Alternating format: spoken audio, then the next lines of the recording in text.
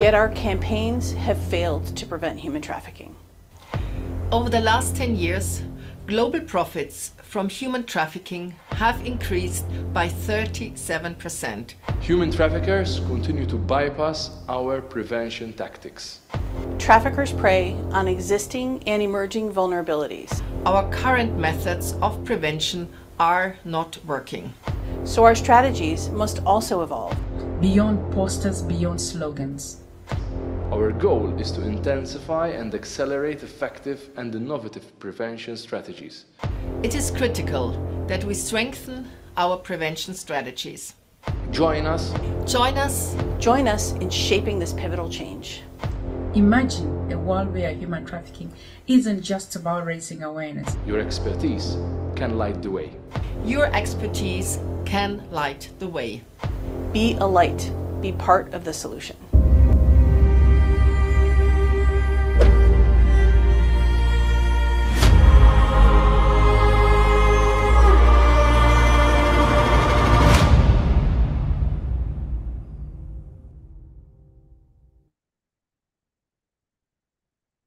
Excellencies, ladies and gentlemen, welcome to the 24th Alliance Against Trafficking in Persons Conference. It is a great honor and pleasure to open this conference.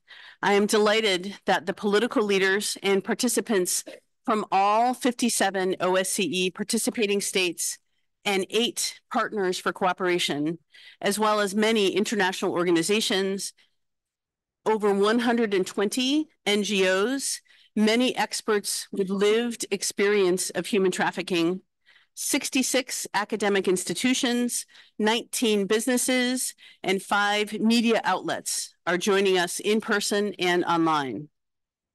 Our conference will primarily be conducted in English, but please note that translation in all the official OSCE languages is available both online and in person. Please also note that the conference is being recorded and broadcast live on the OSCE website. It is also being recorded by one media outlet. Today and tomorrow, here in the heart of Vienna, we will dedicate our time and attention to review and rethink human trafficking prevention strategies. To do so effectively, we will, among other things, consider adaptations needed to make sure our prevention measures also capture and counter new or emerging or often overlooked trafficking trends. Why? Because human trafficking continues to grow in scope and scale, which implies that our prevention measures are ineffective and insufficient in combating evolving trafficking methods. They are not keeping pace with traffickers. The latest available data estimates estimates that the illegal profits from human trafficking have increased by at least 37% over the past 10 years, reaching $236 billion annually. 236 billion. To fully grasp this scale, let me draw a couple of comparisons. This number is higher than the national economies of 35 out of 57 OSCE participating states. In fact, 236 billion is higher than the national economy of 17 OSCE participating states combined. The profits generated from the abuse of each victim has grown. 21% higher, in fact, now reaching a staggering 10,000 US dollars per victim per year. And to emphasize why this is critical to the OSCE region in particular, the total illegal profits are by far the highest in Europe and Central Asia. Human trafficking is first and foremost a financially motivated crime. And while traffickers are the key perpetrators, it is the demand from end users that drives and incentivizes the traffickers. Put simply, traffickers choose to exploit victims because they know they can make vast amounts of money from their abuse and they choose to do it here in the OSCE region because this is where the economic gain is the highest. But combating the demand that attracts traffickers in our region is about so much more than just reducing the reward and increasing the cost for traffickers. It is about preventing the immense harm suffered by the victims. In sum, this means that our overall efforts to combat and eventually end human trafficking are not only insufficient, but increasingly insufficient. The forms of the crime have expanded, the nature of the crime has evolved, and our ability and effort to adjust and respond accordingly is lagging behind. This is why we are dedicating this year's Alliance Conference to critically rethink and reshape our prevention strategies, focusing on moving beyond awareness raising. To achieve genuine impact, we need to mobilize the necessary will and collective action required. We do that by first taking stock of what works, speaking with and listening to experts and survivors with lived experience to help us assess how we can more effectively address the new forms of trafficking we see emerging, or the overlooked forms we need to better combat. This means we need to thoroughly analyze the various prevention efforts and make sure that they are also targeted and tailored. Just as criminals' methods are evolving, we must also adapt and innovate our approach. By attending this conference, you have chosen to be part of this collective effort, and we are grateful that you are choosing to be part of creating the necessary solutions. Now, before giving the floor to the impressive lineup of opening and keynote speakers who will be addressing you, let me also recognize the contributions of other panelists and speakers for the conference. First, let me elaborate on the program for the conference. After our distinguished welcoming and keynote addresses, panel one will dive deeper into the nature of the problem an often missing piece in many states' policies and actions by providing a comprehensive understanding of the diverse set of vulnerabilities that traffickers target and exploit, and that we, the anti-trafficking practitioners, might have overlooked or underestimated in our attempts to prevent human trafficking. We need this comprehensive understanding to inform our ability to implement effective, impactful, and targeted prevention strategies to address both the existing and emerging forms of this crime. This discussion will also aim to recognize the intersectionality of gender, racial, social, and economic inequalities that can increase the vulnerability of trafficking. Day two will focus on bridging the gaps we have identified and outline solutions for more effective prevention strategies.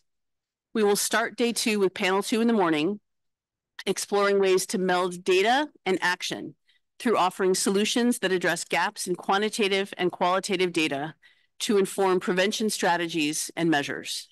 Following pa panel two, there will be a moderator-led talk with an excellent lineup of experts who will critically examine the challenges in tackling emerging forms of trafficking and how they affect current anti-trafficking responses, particularly prevention efforts.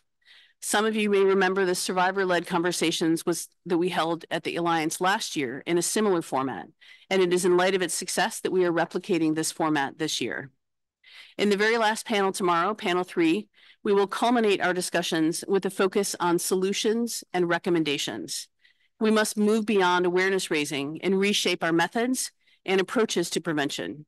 Here we will showcase examples of legislative actions as a tool for prevention, the power of multi-agency collaboration and coordination and impact that media can bring to ramp up anti-trafficking prevention. As per OSCE tradition, in the program we have included side events, and this year we have five, three organized by our office and two by our partners. They will all take place during the lunch tomorrow between 1230 and 1500. I encourage you all to take a closer look at the program for these side events as they will supplement our panel discussions with some very interesting in-depth analysis and data on specific vulnerabilities, such as the nexus between human trafficking and disabilities and human trafficking and minorities. This year, I am very grateful that in each of our panel discussions, we will have the expertise of people who themselves have lived experience of human trafficking. They will provide vital insights to critically evaluate the efficacy and impact of our prevention efforts to make sure that our prevention methods are actually effective and reach the people we are trying to reach. Allow me to also thank all the other panelists and speakers who will share their expertise in the course of these two days. Each of them will offer insight and advice for states to step up their efforts to prevent and combat human trafficking at the national, regional, and international levels. We appreciate that each and every one of you have dedicated your time to be here with us today and tomorrow. Let me lastly add a couple of technical points. Behind me, you will see a secretariat desk where you can sign up to take the floor for each panel discussion. Interventions are only available in person, and the moderator will announce when it is your turn. We strive to accommodate as many speakers as possible to have the floor, but we'll do so according to the allocated time for each session. So we ask that you also be mindful of the time. The microphone for floor interventions for civil society is located in the back. Now let me introduce our first distinguished guest. I am pleased to welcome the OSCE Secretary General, Helga Schmid, to give us her welcoming remarks. Secretary General, the floor is yours. Excellencies, ladies and gentlemen, it's my pleasure to welcome you today to the 24th Alliance Against Trafficking in Persons Conference. The OSCE has proudly become a world leader on assisting its participating states in the fight against trafficking in human beings. And this annual conference, which brings together high-level political representatives, national authorities, international and civil society organization, trafficking survivors. And this is so important. And let me really thank you for being with us today. And of course, anti-trafficking grassroots activists serves as the foundation of our joint effort to combat this crime. But the diversity of stakeholders in this room underlines the fact that human trafficking affects the whole of society and all of our societies, and that we recognize that it is our shared responsibility to combat this problem, which preys on the most vulnerable segments of society. 21 years ago, OSCE participating states adopted the OSCE Action Plan on Combat Trafficking in Human Beings. This seminal document and its 2005 and 2013 addenda set out our framework for addressing the crime across the areas of prevention, protection, prosecution, and partnerships. And for the last 21 years, we have endeavored in each of these areas and real progress has been made. Progress in identifying victims prosecuting traffickers, and confiscating illicit proceeds, and in listening to those with lived experience. But despite all that has been achieved, it is an uncomfortable truth that human trafficking is as embedded in our societies and economies, as it has ever been. Over the past decade alone, the estimated profits generated from human trafficking have increased by 37%, and the wider OSCE region remains the most profitable globally for trafficking in human beings. Mm. Driven by the rise of new forms of exploitation, such as forced criminality, the crime has also become more pervasive. This forces us to confront the sobering reality that while our efforts to protect vi victims and prosecute perpetrators may be succeeding at the local level in some contexts, our current strategies for prevention are not.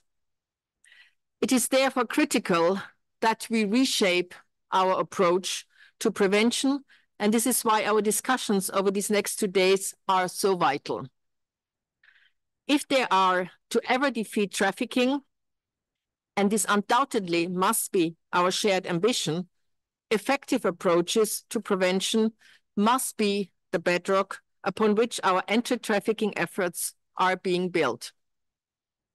Preventing trafficking in human beings from taking place is the best way to truly protect vulnerable groups and deprive traffickers of the illicit proceeds the crime generates.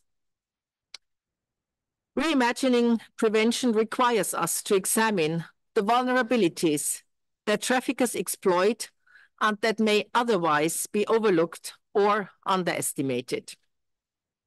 This includes persons belonging to minority groups, including national minorities and those with physical and mental disabilities. Such groups are often underrepresented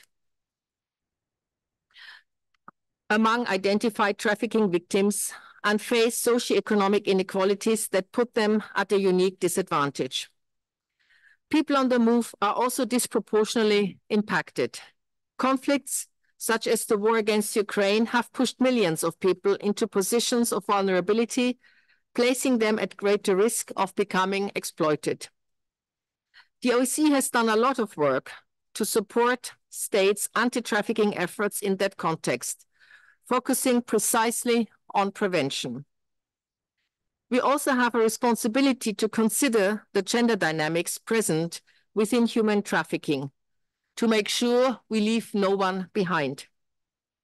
Men and boys, women and girls are exposed to different trafficking risks because of their gender.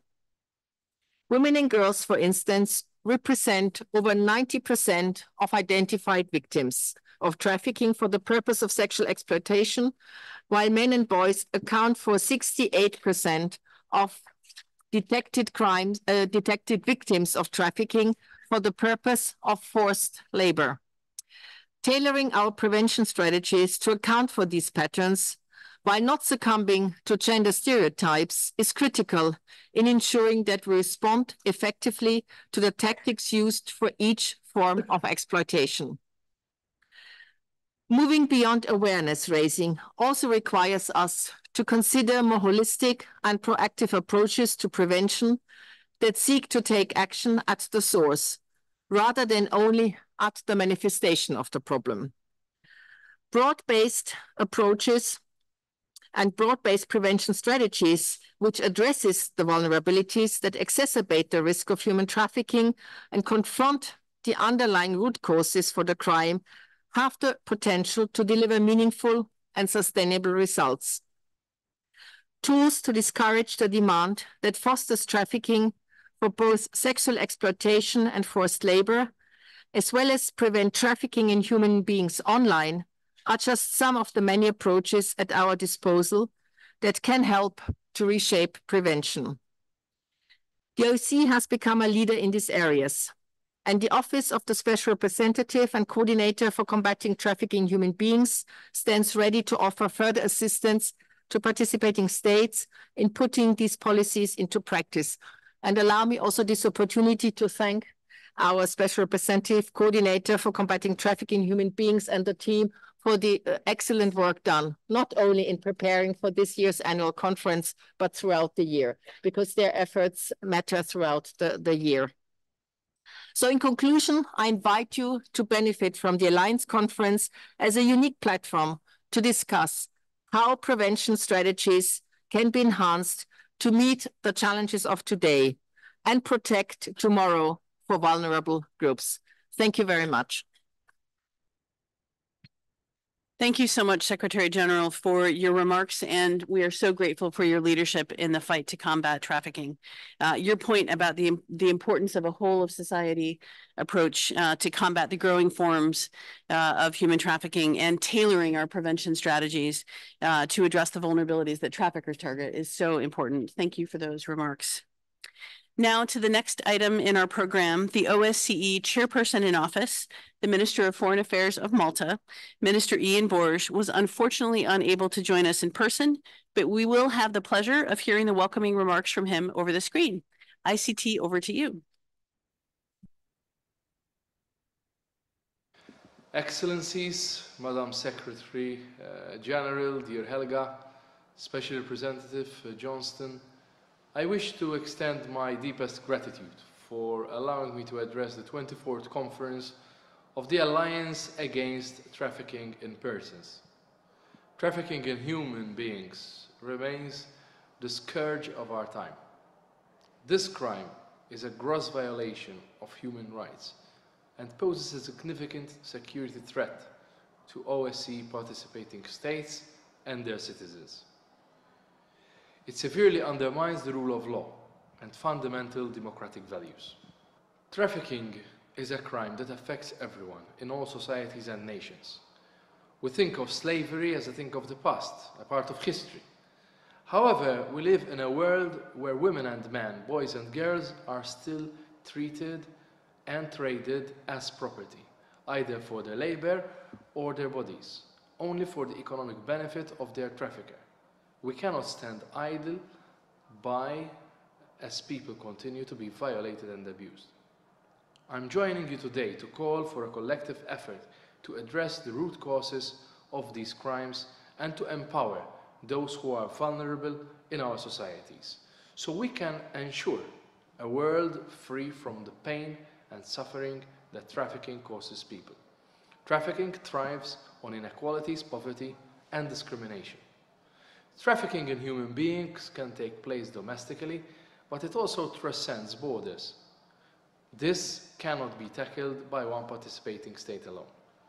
The digital sphere, for example, has added additional complexities to the cross-border nature of this crime. The increasing impunity for perpetrators to avoid accountability also carries an immense social cost. Crisis and armed conflict further exacerbate vulnerabilities on which traffickers and human beings prey. Russia's illegal war of aggression against Ukraine is the single biggest contributor to displacements of persons in Europe today. It has pushed millions into positions of vulnerability, increasing risks of exploitation both online and offline. I wish to reiterate the Maltese chairpersonship's unequivocal commitment to ensuring that OSCE continues to mitigate the impact of this war on the people of Ukraine. Malta is proud to have made combating trafficking in persons a thematic priority for the OSCE this year. Addressing this heinous threat to our security starts with the political will that is necessary to build robust systems to both prevent and fight trafficking in human beings. We are and will continue to step up OSCE's efforts to prevent this crime. Our goal is to cultivate cooperation and motivate partners to recognize the urgency and amplify their efforts accordingly. Malta's motto for this year's Strengthening Resilience, Enhancing Security resonates deeply with the focus of this year's conference. I'm especially thankful that this year's theme is focused on prevention. Preventing trafficking in persons from happening is an important and effective way to ensure safety for all and to avoid human suffering. This year, like the last, the chair of the OSCE is prioritizing all the people of our region. We have made gender a priority theme, and we are particularly motivated to combat trafficking in children as both challenges remain prevalent in the current context. I believe the OSCE is well placed to take on these challenges and help tackle these issues. With our unique comprehensive approach to security, we have the necessary tools to work across all three dimensions to combat human trafficking. We welcome this conference's focus on targeting a range of vulnerabilities. The focus on bridging gaps between factual data and effective action is necessary. In a fast-paced and rapidly changing world, our adaptation and response to new trafficking threats needs to be much faster. It is time for a thorough review of which measures work and which do not. We must be flexible and open to learn from each other's success and mistakes. Only then we can collectively move forward and implement effective prevention measures.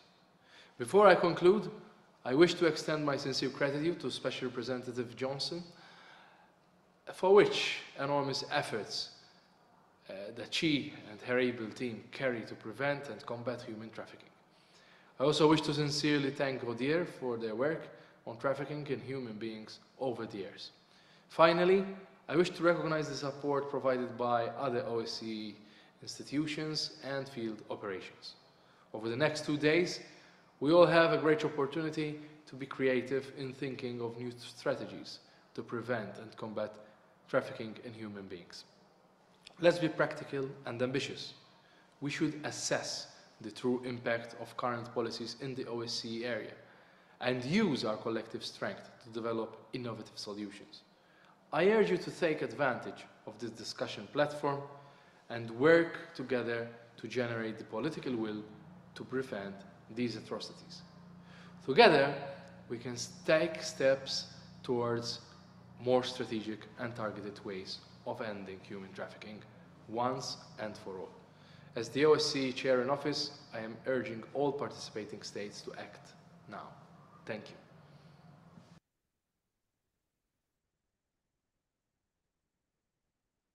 Finally, let me hand over the floor for the final welcoming remarks to Director Matteo Mecacci of the Office for Democratic Institutions and Human Rights, or ODIHR.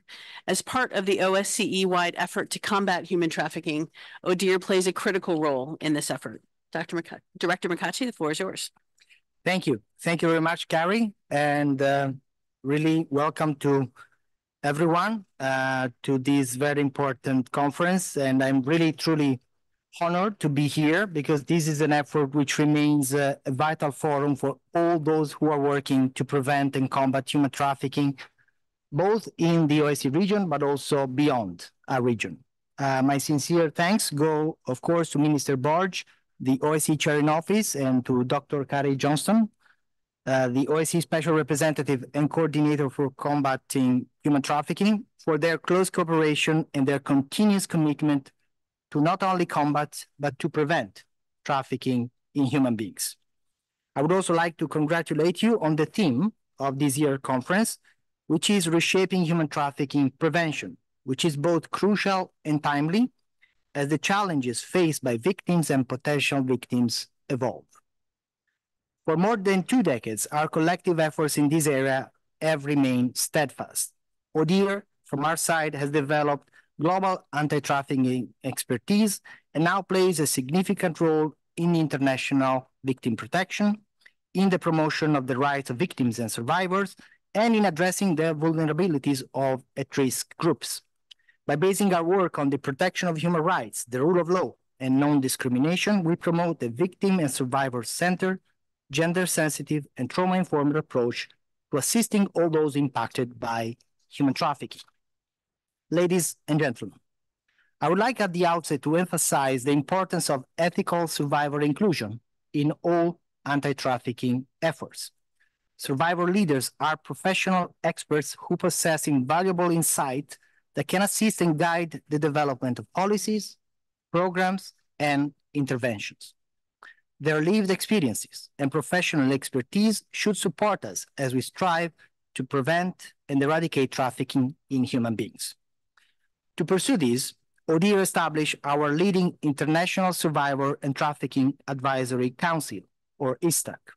And I would like to extend my sincere gratitude to all ISTAC members for their contribution and steadfast commitment to help all victims of human trafficking. And while we regret the recent resignation of some ISTAC members, whom I wish to thank for their contributions, I wish to reaffirm ODIHR's commitment to promoting ethical survivor inclusion in all our anti-trafficking efforts. In this context, we look forward to assisting and supporting OSCE participating states in setting up their own National Survivor Advisor Council towards this goal. Alongside protection, prosecution, and partnership, the prevention of trafficking in human beings indeed represents a crucial component of the paradigm shift we need in order to combat this terrible crime. The importance of prevention is reflected in international law and standards, including in the OSCE Plan of Action to combat trafficking in human beings, and in OSCE Ministerial Council decisions against human trafficking, which have been introduced at the national level through anti-trafficking laws, national, national action plans and strategies, national referral mechanisms, and social pathways. However, and it is a big however, despite all efforts to prevent human trafficking, traffickers have adapted their ways of working, whether in countries of origin, in transit, or a destination. For example, traffickers were quick to take advantage of opportunities online, using digital platforms for advertisement, recruitment, and victims exploitation. And let there be no doubt, traffickers' methods of subjugation, psychological and physical violence, control and exploitation can lead to complex, long-term mental and physical health issues that survivors can spend a lifetime to overcome. Ladies and gentlemen, bias, prejudice, discrimination, and stigmatization related to immigration status, disability, and certain ethnic and cultural backgrounds can all cause vulnerability to human trafficking. However, this is often overlooked as effort focus primarily on identifying traffickers. Globally, today, fewer than 1% of trafficking victims are identified. Armed conflicts create, of course, fertile ground for human traffickers, as it has been mentioned before. And with so many people from Ukraine, which have been forced to leave their country since the attack by the Russian Federation, women and children especially face an extraordinarily difficult situation. As we have seen in previous armed conflicts where people are displaced, these groups are at a higher risk of sexual and other forms of exploitation. In its Vancouver Declaration of 2023, as well in other resolution, the OSCE Parliamentary Assembly has emphasized the disproportionate impact the war has on women and children, including those with disabilities, who are considered to be at the highest risk of being lured and trafficked. We must also address the economic roots of trafficking, as it was mentioned by the special coordinator, with forced labor, labor generating an annual profit of 236 billion according to a recent report by the International Labour Organization. But additionally, the ILO also estimates that there are 27.6 million people in forced labor on any given day, which equals to 3.5 people in every thousand. Gender is also a significant determining factor, and nearly four out of every five individuals that are trapped in these situations are girls or women, and children account for one in four of the total cases. I spoke earlier about prevention, but without a comprehensive understanding of emerging trends, underlying vulnerabilities, and the potential risks of exploitation, our work to improve prevention has a reduced impact. It is therefore all the more important for us to collect and analyze data and use it to refine prevention strategies in line with the needs of potential victims of human trafficking. In addition, OSCE states must probe the root causes of trafficking more deeply, as well as addressing systemic vulnerabilities, building and establishing robust national referral mechanisms, and investing in better indicators to detect victims. They also need to establish national survivor, survivor council and foster collaboration across borders and sectors, including in cyberspace, through the development of new tools and technologies that prevent distribution and help take down all online trafficking-related content. At ODIHR, we are continuing our dedicated program of work in this area, and together with the Office of the Special Representative to Combat Trafficking in Human Beings, we have also been collecting empirical evidence which will soon result in the publication, addressing the dynamics of trafficking in persons belonging to minorities, including national minorities. We will be holding a dedicated side event to this topic tomorrow to discuss in more detail, and I invite you really to attend. In addition to this publication, ODIHR is in the final stages of consultation with ISTAC and anti-trafficking stakeholders to refine our forthcoming policy guidance on survivor-informed indicators for the identification of victims and survivors of human trafficking. The implementation of a standardized set of indicators can greatly assist in improving both legislative and policy frameworks and serve as a foundation for establishing and strengthening national referral mechanism throughout the OSCE region and beyond. In closing, I once again want to thank the organizers and hope that this conference will serve as a platform for further discussions and cooperation between all those who are working to prevent and address trafficking in human beings. In developing and implementing measures to prevent and combat human trafficking across our region, let us always have at the forefront of our minds the human dimension of this topic, the victims and survivors of trafficking. Thank you very much. Thank you, Director Mecacci. We very much appreciate the cooperation between our offices that you mentioned and look forward to continuing and deepening the collaboration. Let us now turn our attention to our keynote addresses. We are delighted to have with us on screen Dominique Hasler, Minister of Foreign Affairs, Education and Sports of the Principality of Liechtenstein. We would have loved to have you with us here in person, but we're grateful that you're still able to join us online today. Welcome, Minister Hasler. Please, the screen is yours.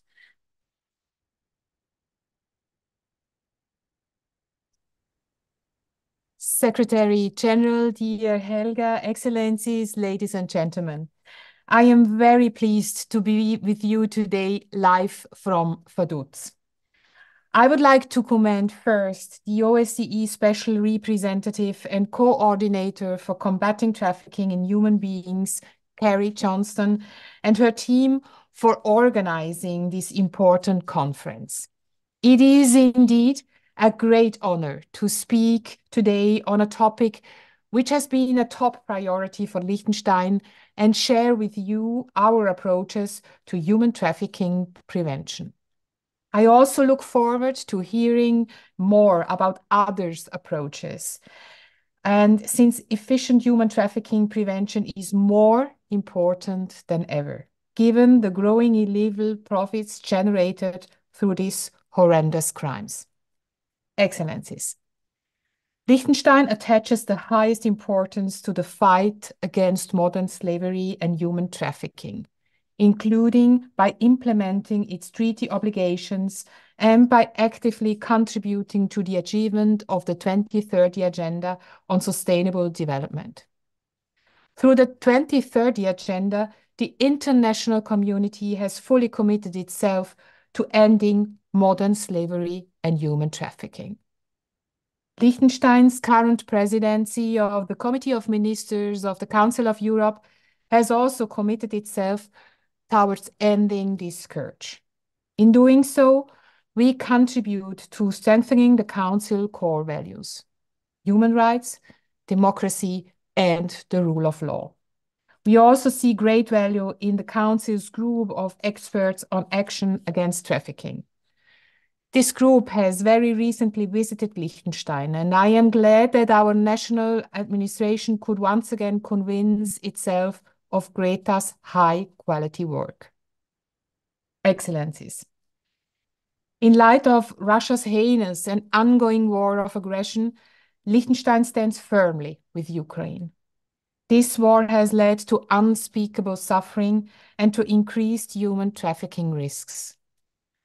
To prevent such risks, the Office of the OSCE Special Representative and Coordinator has been providing its great relevance to OSCE participating states. The office does so by providing valuable assistance to their efforts to prevent this scourge. Liechtenstein has thus supported the office reaction to the war in Ukraine at the project level from an early stage and continues to do so. Liechtenstein will also continue its political and financial support to Ukraine. And we will continue welcoming Ukrainian refugees. Currently, over 1% of our inhabitants are Ukrainian refugees. As I'm also Minister of Education, I am pleased that our education system has been able to set up so-called learn hubs for Ukrainian children with the goal to integrate them as quickly as possible into regular schooling. Another preventive national measure for the minimalization of human trafficking risks in Liechtenstein pertains to the financial inclusion of Ukrainian refugees. In this regard, the three largest banks in Liechtenstein are providing refugees from Ukraine with fee-free bank accounts. Excellencies, in our global efforts to prevent human trafficking, Liechtenstein pays special attention to applying the follow the money approach. This approach is of utmost urgency given the growing amount of illegal profits that are generated each year. Sadly, the total amount of illegal profits from forced labor has risen by 37% since 2014. Given that human trafficking is a top predicate offense to money laundering, we are convinced that human trafficking can only be prevented successfully if the global financial sector is actively involved.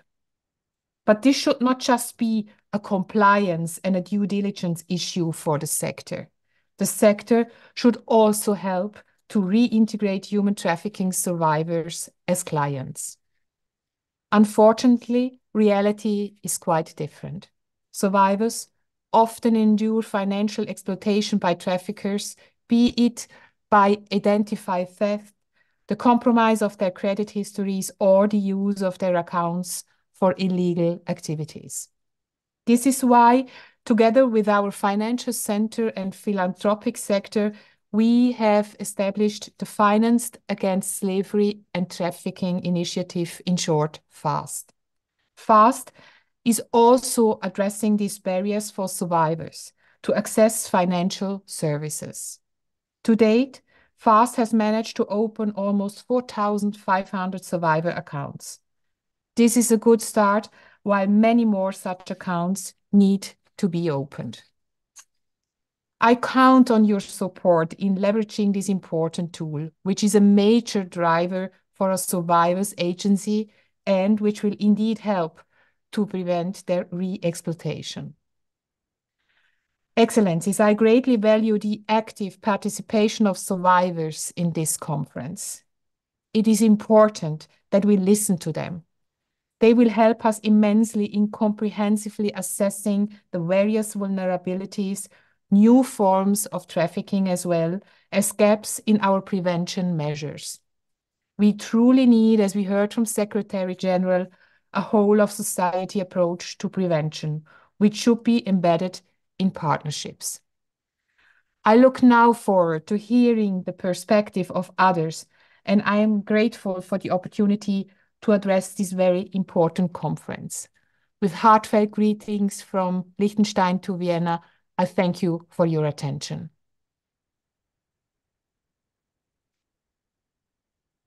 Thank you very much, Minister Hasler, for your engagement and those powerful words today. We very much appreciate your leadership and your partnership to combat human trafficking. Our second keynote will be delivered by Ugochi Daniels, Deputy Director General of our partner, the International Organization for Migration. Welcome, Deputy Director. The floor is yours. Thank you very much. It's such a pleasure and honor to be here on behalf of the International Organization for Migration.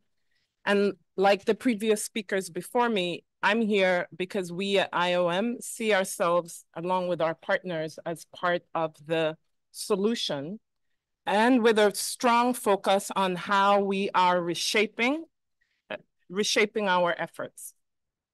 So what's at stake? Um, quite a few of the speakers before me have shared uh, the scope in terms of financial resources, have shared numbers on people. Bear with me, I have just a few more um, numbers to share.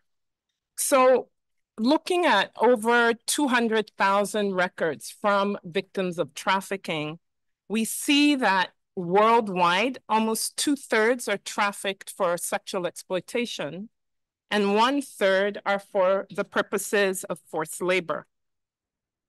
And we also know from uh, the 2022 global estimates of modern slavery that at any given day, there are 50 million people in situations of modern slavery. And that one quarter of all identified victims are trafficked as children. And we also know that last year was the deadliest year on record, claiming the lives of more than 8,500 migrants. And our data shows 65,000 people have lost their lives in the past decade, and that the number is likely much higher. So these are gruesome numbers, of course, but at the end of the day, it's about people. So I want to talk about someone whose name is Ahmad.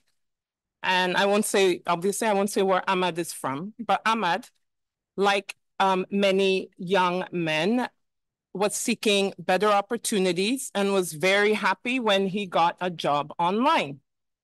And he traveled to the country where he got this job and he traveled regularly and legally. And when he got there, he was forced into scamming people online with a target he had to meet every day. And if he didn't meet the target, he was electrocuted. And as horrible as this situation was, Ahmed is a lucky one because Ahmed was able to get out secretly online his situation and was able to be rescued. But we see these online scam sweatshops as a new and emerging trend when it comes to trafficking. And so behind each number, let's realize it's a it's a person.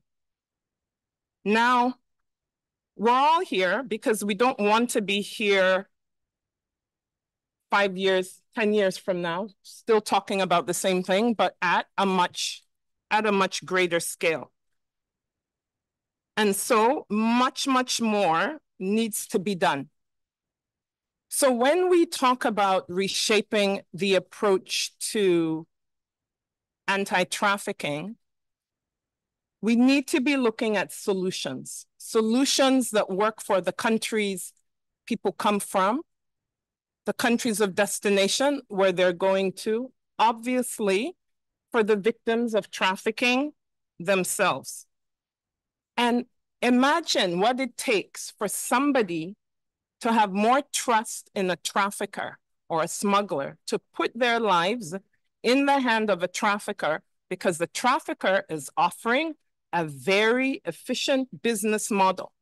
Because the trafficker will tell you, I'm going to, um, there's a there's a labor market shortage in country X. You can get a fantastic job working as a teacher or working as a hairdresser,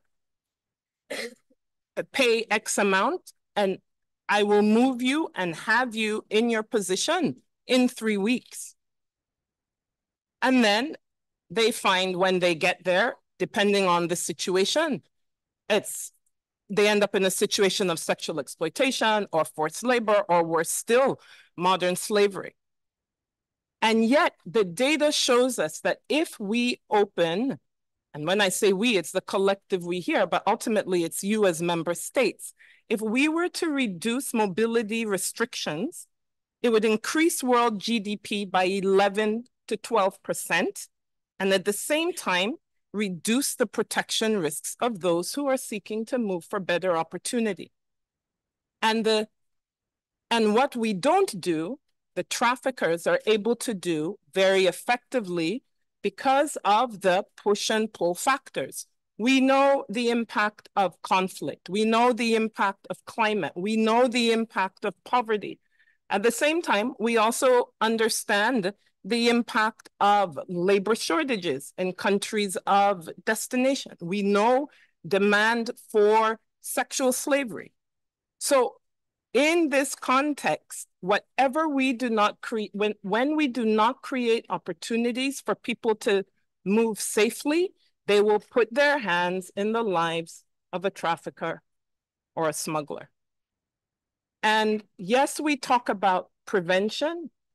If we are going to be, be achieving impact at the scale needed, given the objectives at stake, we must be using a whole, what we in IOM call a whole of root approach, which means that discussions need to happen with the countries of origin and with the countries of destination, as well as the countries of transit. Because we know that yes, we want to address prevention and we want to look at root causes and what triggers people to move. For that to happen, it has to be within the broader development discourse. And for that to happen requires having discussion with the countries where the victims originate from. So to move forward, what have we learned? So from the IOM perspective, three things stand out. And um, Kari, you spoke to some of this. So while public awareness raising may enhance people's ability to identify what trafficking is, it does not necessarily prevent it. Second, knowing one's rights does not automatically translate to rights being realized. For rights to be realized means we often have to address intersecting vulnerabilities and power imbalances. And third, counter-trafficking interventions, especially the ones aiming to address root causes, must be incorporated in the broader development discourse. Okay, so what does this mean going forward? I like to speak about connecting the dots because the context within which trafficking is happening is multidimensional, it's multifaceted. The demand factors, the push factors at, on any aspect are all at an all-time high. And so what do we need to do? So I've already spoken about engaging um, countries of origin.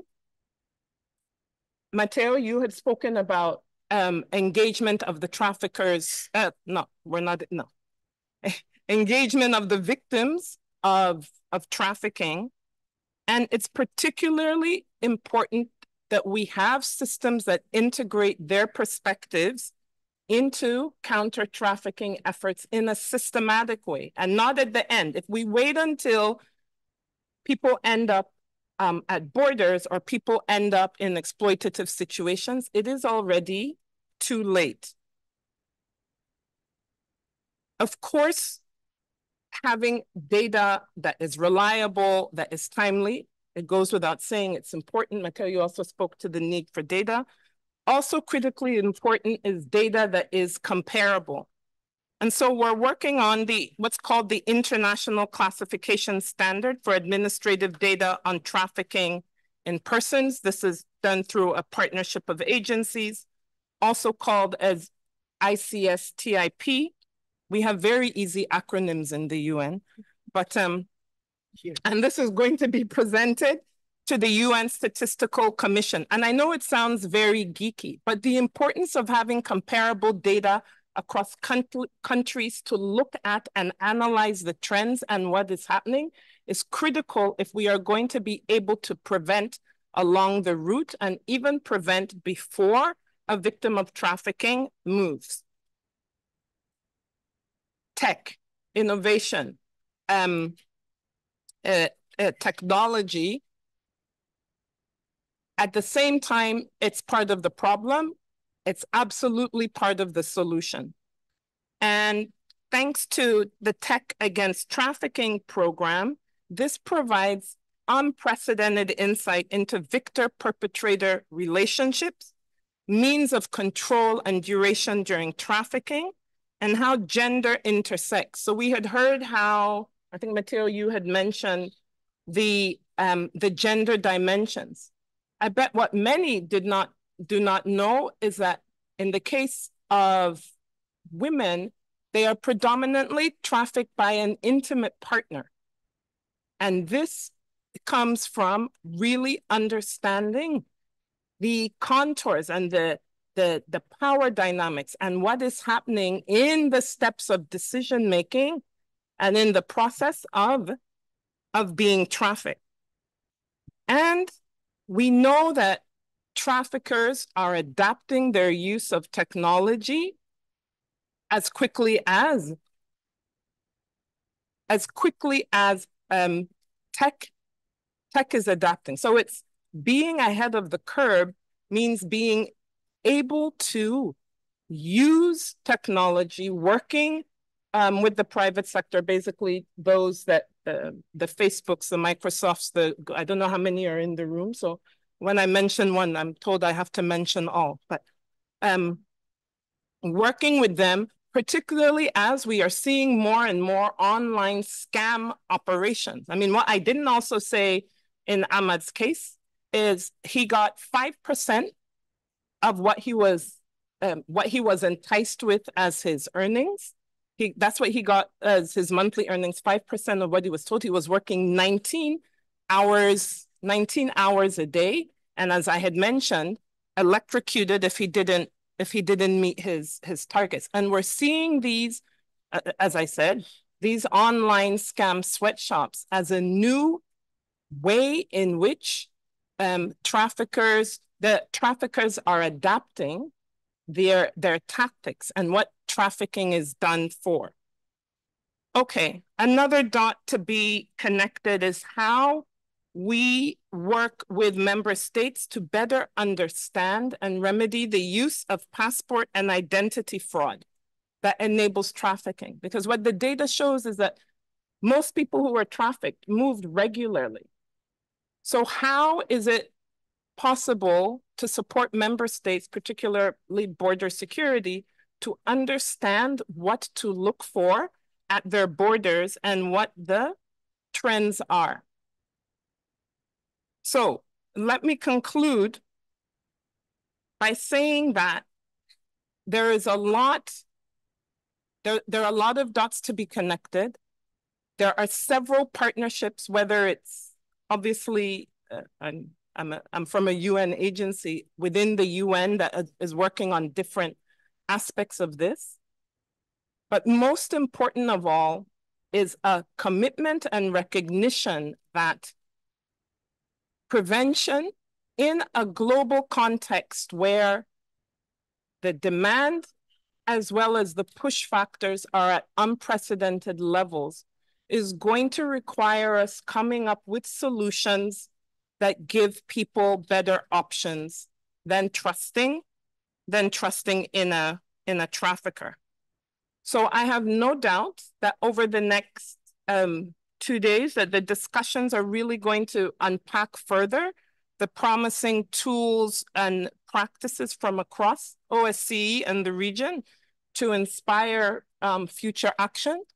I look forward, I don't want to abuse my welcome this first time, um, but I really look forward to also participating in discussions where the countries where trafficked people come from are also represented. And where in the opening, we also hear from the traffickers themselves. Because at the end of the day, this is who we are all here for and need solutions and need to come up with solutions that are sustainable and work for the countries they come from, the countries they go to, and for people who are only seeking what all of us want, and that's lives of dignity. So thank you very much. Thank you very much, Deputy Director Daniels, uh, for that poignant reminder of not only the importance of data, which I agree with you strongly on, but also uh, of keeping front and center the very people uh, that this crime affects, uh, the victims and survivors of human trafficking. Thank you. And with that, we will turn to our final keynote address that will be delivered by Rafael Bautista, who is a member of the United States Advisory Council on Human Trafficking. Mr. Bautista, the floor is yours. Thank you. Can you guys hear me well? Um, I am here today because we are reshaping the human trafficking, and I'm the proof that is happening. Uh, my name is Rafael Bautista. I'm a current member of the United States Advisory Council on Human Trafficking, and I'm a consultant for many anti-trafficking, anti-slavery organizations. But today, I'm not speaking on behalf of, of the council or any organization. I stand before you today as a father, as a believer, as a male survivor of human trafficking. Uh, before I continue reading to you what I wrote, I would like to address some points based on the speakers that I hear. And trust is not given, it's earned. So traffickers work very hard to earn the trust of the victims and the vulnerabilities. Um, I would like to express my gratitude to the OSCE for, the, for inviting me to speak today and for the opportunity to share my insights with all of you. I would also like to extend my heartfelt thanks to the U.S. delegation for the unwavering support and assistance. I feel privileged to be here today. Not only because I'm, not only to be here today, not only because I have survived, but because I have been given a chance at life.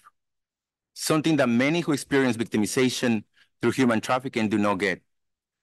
And that chance has allowed me to stand before you and on these platforms. Research has shown us that individuals who are displaced or migrating are at higher risk of being subject to human trafficking. I know there are many issues impacting the global population. There may be people in this very room that have been impacted. We have to talk about those things that make us uncomfortable, especially if we want to work for an end demand trafficking. Part of that is acknowledging that when we say nothing or when we do nothing, in the face of many of these issues, we are perpetrating the same violence that was done to us in the past. Climate change and global warming are causing natural disaster, focusing thousands of people to relocate and move and to move from one place to another. This creates a regular and irregular migration patterns globally. People cannot sustain life in droughts, farming, or collapsing infrastructure, infrastructures. It has been on human history that has taught us to migrate. We also know that socioeconomic and political devast devastations have caused displacement of many di diverse populations. The populations are being displaced due to armed conflicts, civil wars, and genocides. The, these events create various vulnerabilities for people living those experiences. Many years ago, as a minor, I left my home country looking for the dream, the American dream. That same dream has been sold to me by many like me for decades. Unfortunately, instead of a dream, I end up in a nightmare that changed me, who I am, my DNA, and how I react to everyday issues. But it does not define me. For many years, I was under the impression that I alone had decided to migrate, that have chosen my living everything that I have known, my friends, my family, my home. Now, many years later, I understand that I did not make that decision myself as a minor, only as a minor. A boy still need in many ways. It was the, the dysfunctional family, the absence of my father, the lack of support system, the organized crime, and the corruption of the government in my home country that caused me to leave my home. I became vulnerable to human trafficking without me knowing. Other vulnerable communities are people with disabilities, the global majority of the BIPOC, Black, Indigenous, and people of color, and the LGBTQ2S plus community. I will even dare to say men and boys. In that last statement, I can see your reactions from where I'm sitting. Allow me to explain why I say men's and boys. It's because we have created and accept a culture of toxic masculinity where we do not see men as victims, only as perpetrators. Men can be men can be because it will then men has been marginalized by society, has into Men are big and strong, and they don't cry. Men must provide and mentally put such a layer of responsibility on men, where it is taboo for men to ask for help. That's why there's many unreported men calling in for help. Remember, we are not born six feet tall, 180 pounds, knowing what to do. We are little boys playing soccer, barefooted in the streets with their friends, we are young men seeing our families struggle through the systemic oppression, and it is either starving or really not having food or, or shelters to provide for their families. I'm not saying that the atrocities that women have faced are not important. They are. And I am in no way positioned myself to say one is graver than the other. What I'm trying to say is that we also suffer the unspeakable Men are just vulnerable and we are excluded from a lot of spaces because of this mentality. If we do not see men as victims, how can we allocate funds? How do we even acknowledge the need of these services or standards of care? Who fits the, who fits the perfect victim standard? If we, we look into the industries with higher risk factors of labor trafficking, we will notice that some of these are male predominant fields, such as agriculture, construction, mining, fishing. And now I'm not saying that other identified genders are not working in these sectors, but we need to understand that there are cultural norms that push men into certain jobs only. We need to unlearn what we have done in the past that has caused unintentional harm but I will tell you today, harm is harm. And we need to do better. We need to learn what's working today and what we need to be inclusive and intentional to create equity within the anti-trafficking, anti-slavery movement. We need to include leaders from these communities and work together to create solution. We also need to compensate these experts properly because the good intentions do not pay the rent or feed my kids at home or provide for my loved ones. If we, if we want to move beyond awareness and reshape what we have done as a prevention, we need to have some uncomfortable conversations. And no matter if we agree or disagree, we need to learn from each other and respect each other. The greater Mexican patriot Benito Juarez said, men are nothing, principles are everything. Respect for the rights of other is peace.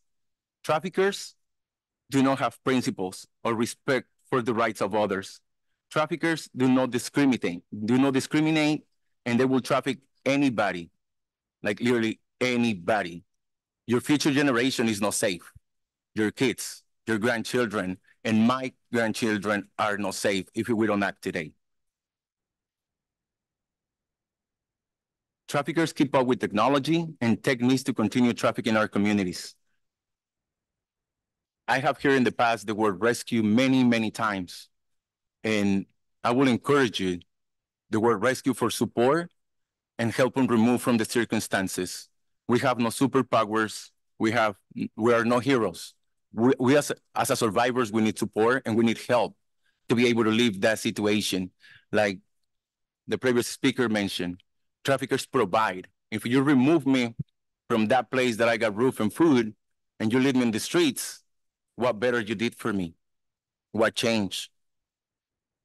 Let me finish by saying language matter, respect is earned, and human rights include every single person in this place called Earth. No one can be free until all of us are free. Thank you so much for your attention.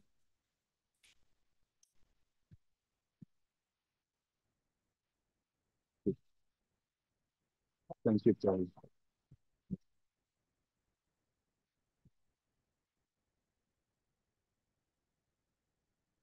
Thank you so much, Mr. Bautista, for your powerful, insightful perspectives and the reminder of the urgency of the task before all of us, because indeed traffickers do not discriminate. And we have an important task before all of us. Our immediate task right now, we will transition to a coffee break. Uh, it's a little less than uh, the full half hour. We will to keep to the schedule, we will be back here at 1600. Um, so that's a little bit more than 15 minutes. Um, and for those of you that are online, we ask that you stay online in the session because um, we will jump right back in uh, at 1600 to dive into the first panel. Um, and the coffee break will take place right here on the second floor in the cafeteria. Thank you all for your attention and thank you again to our fabulous speakers.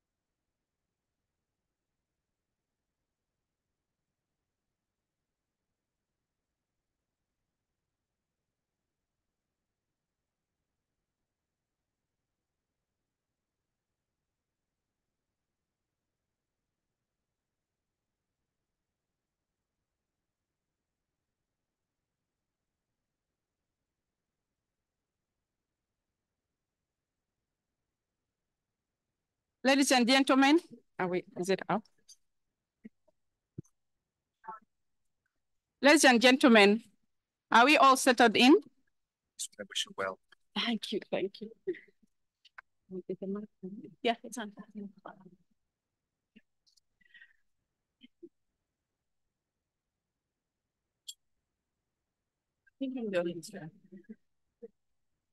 Good afternoon, ladies and gentlemen, those who are here and those ones who are online.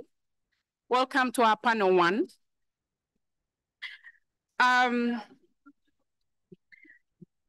as we gather here today, I'm going to be your moderator. My name is Malaika Oringo. Uh, before I speak about myself, I wanted to acknowledge OSCE for being a strong contender for uh, survivor inclusion and engagement, and for giving survivor a plat survivors a platform to grow and also to share their, their feelings and their initiatives. Our panel today includes um, Miss Elizabeth, we're going to have Miss Miss Haber, uh, we're going to have Miss Miss uh, Mr.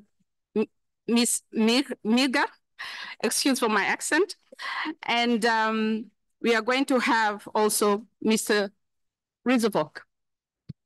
Before I give them the platform, I want to introduce myself. Uh, as I mentioned, my name is Malaika Oringo.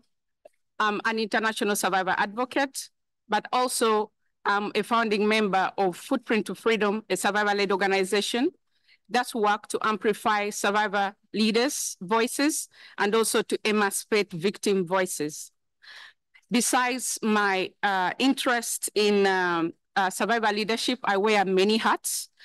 I'm also um, interested very much at, uh, I'm also passionate about survivor leadership initiatives, one of which is uh, being part of a uh, coalition that amplifies survivor voices. One is Beyond Survivors, and one that is a new one is called the African Survivor Coalition that is aimed at amplifying survivor voices across Africa, apparently with scaling to 54 countries across Africa. Besides my uh, grass, grassroots intervention, I've got the privilege to work with different uh, initiatives and organizations that are taking a lead in the fight against human trafficking. The UN, the UN, the, U, the UN ODC, the Salvation Army, the OSCE, and the Finance Against Human Trafficking.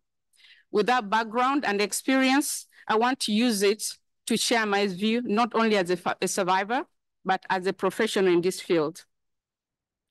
Our panel today will shed a light on the international and national perspective regarding vulnerabilities linked to various groups, including persons on the move, persons with disabilities, and minorities, and mainly forms of trafficking that are often overlooked.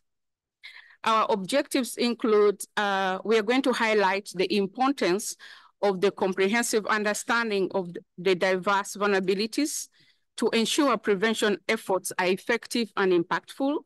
Secondly, we hope to achieve an understanding in the evolving nature of trafficking, as well as the emergence of hidden natures of underreported crimes of human trafficking. And lastly, we hope we're going to recognize the intersectionality of gender, social, economical inequalities that are contributing to the vulnerabilities of human trafficking. Before we proceed, I want to make some technical announcement. Um, for representatives wishing to make some uh, statements, please contact our secretary at the back for questions. And um, uh, most importantly, if you're making your intervention, please let's keep them in two minutes, within two minutes, so that everyone can get a chance to talk. And um, lastly, uh, when you have questions, uh, we are going to close our remarks when we've we've concluded the number of people who are going to to ask questions in in making sure that we're keeping time. So our thinking before I introduce the speakers, I wanted also to share my views about this topic. This topic comes timely and also it's impactful, not only because we are rethinking human trafficking, but also as one of the pe people who have been impacted by human trafficking. Ladies and gentlemen, distinguished guests, fellow survivors, both online and those who are here, for me, it's an honor to be here today, not only as a survivor, but as an expert and a person who is um, a prominent leader in the fight against human trafficking. As you know, survivor leaders, before they become leaders, they face a lot of challenges and also um, discouragement before they become potential survivor leaders in the, in the fight against human trafficking. But the good news is that being here today as once a victim, uh, being able to moderate this session shows that victims do not have always to remain victims. If we support them effectively, they're able to transcend beyond their trauma to become contributors to this cause. Today, we convene to address a critical question. How do we effectively combat human trafficking? Well, acknowledging the diverse, diverse, the diverse vulnerabilities that exist within our countries, within our, our communities. With this in mind, I want us to ask ourselves, who are these people who are left behind? Who are these minorities that are, are vulnerable to human trafficking? What are the underlying factors that make them vulnerable to human trafficking? And why are they left out in the course of uh, policies and intervention? With that in mind, we are all going to be able to come up with robust solutions that meet their needs. What I'm trying to say is that when we use the word minority, it's a general concept. Under minorities, there are different forms of vulnerabilities, either from, migra from migration background, people with disabilities, those ones on the move. So we shouldn't generalize our strategies when we're combating human trafficking. In my personal experience, human trafficking is an end result of years of vulnerabilities that have been underlooked, under-resourced, and underreported. I, from speaking from experience, when the survivor, came, sorry, when the trafficker came up, I was already a broken girl in the system that was not working.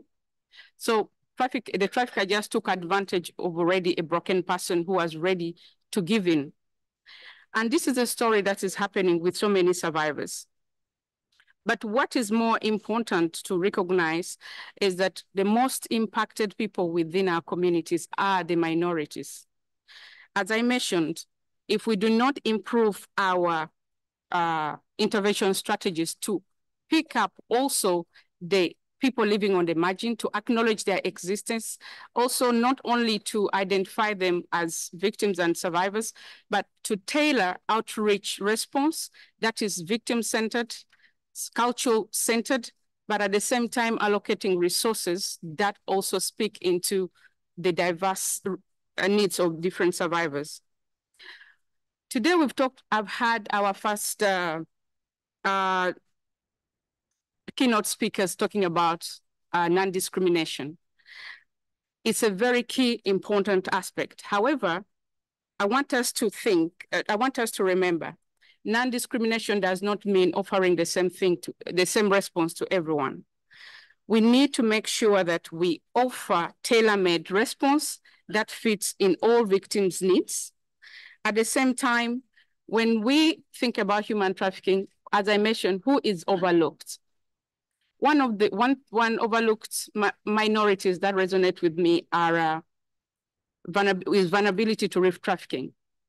The recent IOM report affirmed that most survivors are at a verge of being re-trafficked in the period of two years or less after exiting exploitation. What does this mean? That survivors continue to fall into the vicious cycle of human trafficking if we don't put in place comprehensive support and also um, long-term support of these survivors. And also, uh, we're talking about minorities, overlooked uh, um, vulnerabilities. There is also vulnerabilities that is gender related. In the recent years, all our efforts have been rightfully in the right place, supporting women and girls because they constitute 71% of the trafficked people in the world. However, we forget that men are now, men, men and boys are becoming more vulnerable to human trafficking. So we need to come up with more um, gendered inclusive response so that we don't leave anybody behind. And most importantly, when we talk about uh, inclusion, when we come up with our effective strategies, we need to include survivors. And not only including survivors, meaningful survivor inclusion. The best way to include survivors is to make sure that we offer them capacity building so that they are able to inform our uh, strategies, our outreach programs in, in an informed way. In the recent years, what I've seen that our legitimacy to this anti-human trafficking work is our stories. But the story, our stories are not enough to make a change. We need fundings towards survivor personal development. And one call to action that has been put, put towards me from other survivors that we call upon all member states to have survivor advisory boards members to inform the national action plans. In that way, we are going to be able to get uh, outcome that resonates with the with the with the target group, and remembering that um, survivors come from the marginalized groups. So when we include them, we are able to come to to build fitting strategies and solutions. On that end, I'm going to open the panel. I'm going to begin with um, Miss Vol Miss Volterpiece. Sophia. Sophia. yeah, they gave, yeah. Miss Sophia. Uh, she's the Deputy Minister of Migration and, and Asylum, as well as a member of the Greek Parliament since 2004. She was the first woman to hold the position of government spokeswoman and she's also, she had a long career as a journalist for the daily newspaper and magazine, as well as radio and television. Ms. Sophia will focus on overlooked forms of trafficking, such as exploitation in, in criminal activities, surrogacy, and illegal adoptions. Uh, Ms. Sophia, the floor is yours. Thank you, Chair, dear Malaika. Thank you, Kari. Thank you, everybody, for being here. From the side of Greece, we welcome the 24th Alliance Conference Against Trafficking in Persons and thank the Organization for Security and Cooperation in Europe, uh, which has hosted important fora on security and human rights many times. We are here, myself, myself as uh, uh, Malaika said, as a deputy minister of the Greek ministry, responsible for integration, vulnerable people, citizens, and unaccompanied minors, and uh, with um, uh, uh, General Secretary of the ministry, um, Mr. Iraklis Heracles Hercules. Now we have the, the ancient names. Who's that? Uh, Moskoff, who he is now the general secretary, but he for many years has uh, served as a national rapporteur on trafficking at the Greek Ministry of Foreign Affairs. trafficking is in the center of our interest, as in Greece, 95% of the adult victims registered in the national referral mechanism are refugees and migrants, while in regard to child victims, the percentage of children of foreign origin is nearly half of the total number. Individuals such as refugees, asylum seekers, trafficked individuals, stateless persons, irregular migrants, and other non-citizens lacking legal status bear multiple vulnerabilities. These groups are more exposed to various risks and are indeed of special care, support, and protection. Efforts to mitigate vulnerability draw upon the norms and guidelines of international refugee and human rights laws, alongside other international legal frameworks tailored to specific national contexts. However, despite efforts and express, expressed political will to combat the crime internationally, human trafficking continues to be a source of profit for criminal organizations as well as individual perpetrators with victims of every gender, nationality, and age. Greece has made significant progress in enhancing its response against uh, uh, human trafficking and is currently developing a robust framework for the victims' protection. First of all, all forms of exploitation are punished under the Greek Criminal Code, including uh, forced criminality, one of the most underreported forms, let's say, of exploitation. We are thus trying to sensitize prosecutors and police officers to investigate thoroughly the possibility of forced criminality upon arresting a minor offender. We have participated in seminars of the National Judiciary School and are designing a memorandum of agreement with the Police Department for Minors Protection for collabora collaboration on various levels. Specific procedural guarantees for victims are foreseen in the Greek Criminal Proceeding Code. Additional guarantees are foreseen also for child victims of human trafficking. The migrant victims are also protected from deportation and entitled to a residence permit. And of course, victims' protection is unconditional, namely not related to their cooperation with the police. In addition, the Greek national referral, mechanism, the main instrument, let's say, for keeping reliable statistics and coordinating all state and non-state actors, operates since 2019. The access to services is guaranteed for all victims, both presumed and formally recognized, regardless of their origin, gender, age, and most importantly, I repeat, regardless of their will to cooperate with the police. This is the most efficient, we believe, way to ensure the victim's participation in the criminal proceedings, respecting, respecting their rights and their trauma. Furthermore, standard operating procedures have been developed for the reception and identification service in order to identify and protect asylum seekers, victims of human trafficking from the early stages of their arrival on the Greek arrival on the Greek territory. The vulnerability screening serves serves also to the direction of identifying persons at risk of uh, exploitation thus in need of, of additional support and protection to prevent their victimization. A key pillar of, for our national inclusion strategy is the prevention of all forms of violence and trafficking.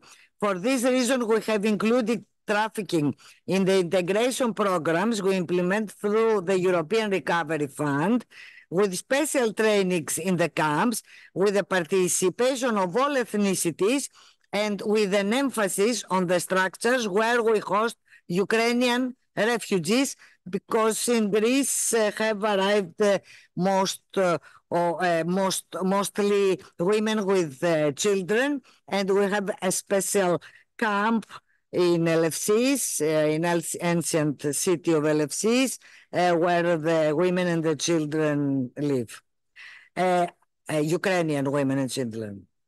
At the same time, every two years, we carry out large international exercise Medusa with important participation from Greece and abroad.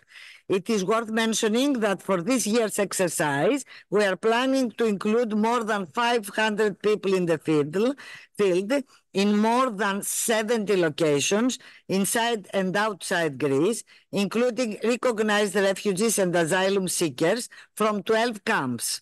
The exercise command team consists of more than 130 senior officers from all the Greek national authorities. Uh, our ministry has also developed a national strategy regarding the protection of unaccompanied uh, minors.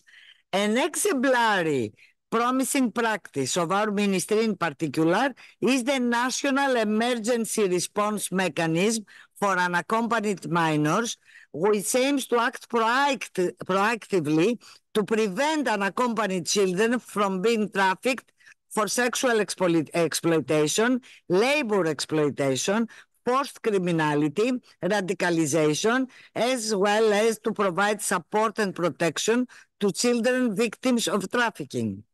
This mechanism, the NERM, was established in 2021 with the support of UNHCR and proactively traces and identifies unaccompanied children in need or at risk, including child victims of trafficking, ensuring immediate intervention and protection.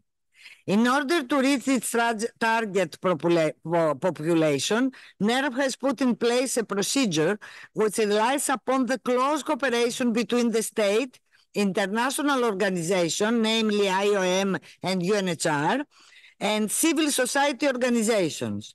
The mechanism comprises three main components, the tracing telephone line, the mobile units uh, which conduct to street work, and uh, the, the, the uh, emergency accommodation facilities which are operated by IOM. Uh, NERM stands as a preventive measure against trafficking by offering protection to a largely undetected population.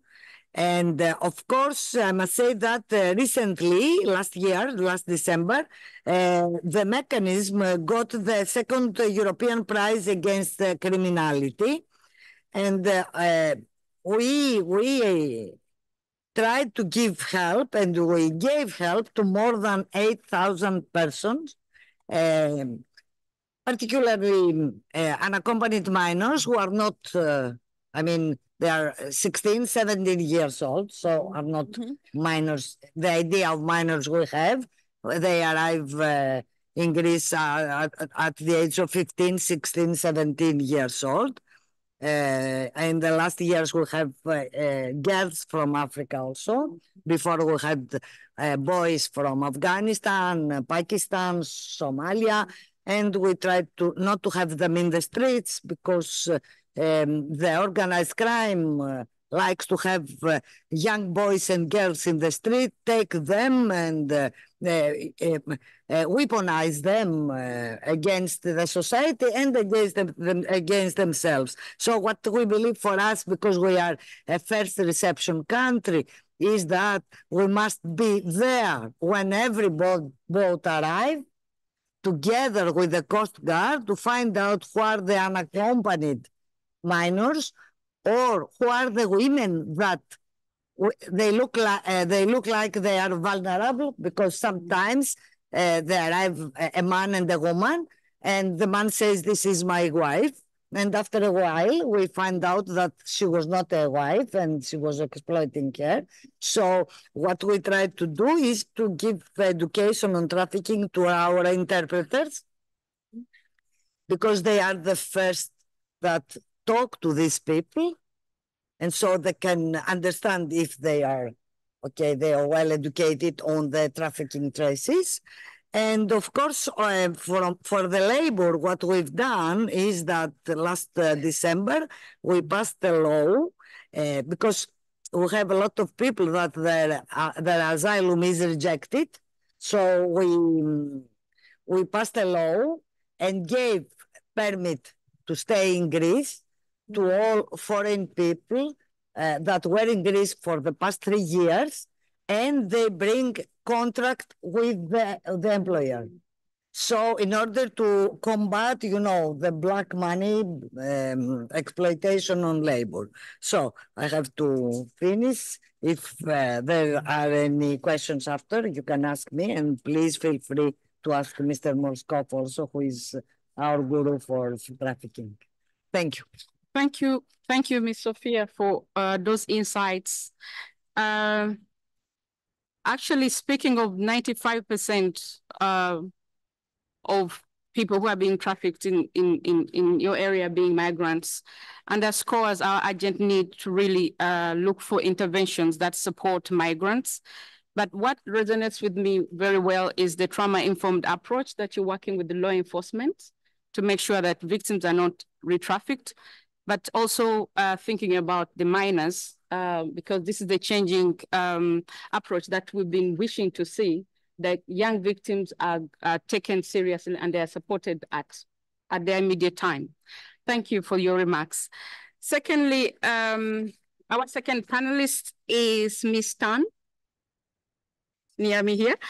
Um, she's the director of the Division of the International Protection at the Geneva headquarters of the, of the United Nations High Commission for Refugees. She joined UNHCR in 1995 and held numerous positions in protection, policy, and management, including in Burundi, Egypt, Sri Lanka, and in Sudan. Ms. Tan will provide insights into the prevention efforts uh, for people on, on the move in the context of displacement and conflicts. Uh, she will also tell us more about the importance of addressing the intersectionality of vulnerabilities in prevention approaches. Ms. Tan. Thank you, Malaika and uh, Madam Chairperson, Excellencies, distinguished delegates. It's my pleasure to be here today to offer a few insights uh, and perspectives from UNHCR on prevention of trafficking in persons. So we've heard from some of the other speakers already today that displacement exacerbates trafficking risks and compounds existing vulnerabilities of people that are forced to flee. So in times of crisis and conflict, when people are forced to flee from their homes, whether they're internally displaced or whether they cross international borders, they find themselves in vulnerable situations, exposed to a variety of risks that affect their safety and well-being, including potentially human trafficking. With record displacement worldwide, um, by mid last year, we were at 110 million uh, persons forcibly displaced worldwide. We're seeing increased numbers of forced displacement and stateless people who are in precarious situations. Individuals who are displaced within their own country, internally displaced because of war, conflict, violence, persecution, find themselves often discriminated against and excluded from essential services, and they do not have, um, they have restricted access to livelihoods and to education, to health, and the means to be full members of society. They often wait for years, for decades, for a solution to their situation of displacement. Without solutions in sight, and with risks of abuse and exploitation exacerbating over time, some of these individuals are tricked or trapped into sexual exploitation, domestic servitude, forced labor, on farms, in artisanal mines, or in construction sectors. The Global Protection Cluster that works with internally displaced in emergencies in 2023 data found that 52% of the 29 countries that they survey, surveyed had a medium to very high risk of women and girls but also other overlooked groups like boys, men, persons with disability, older persons being at risk of trafficking. Sometimes people cannot find safety within their own country and they cross an international border seeking asylum in a neighboring country. It's in those border areas and camps where people fleeing await await opportunities to reach to reach safety, especially in remote areas that lack services and protection. That's where smuggling and trafficking thrives.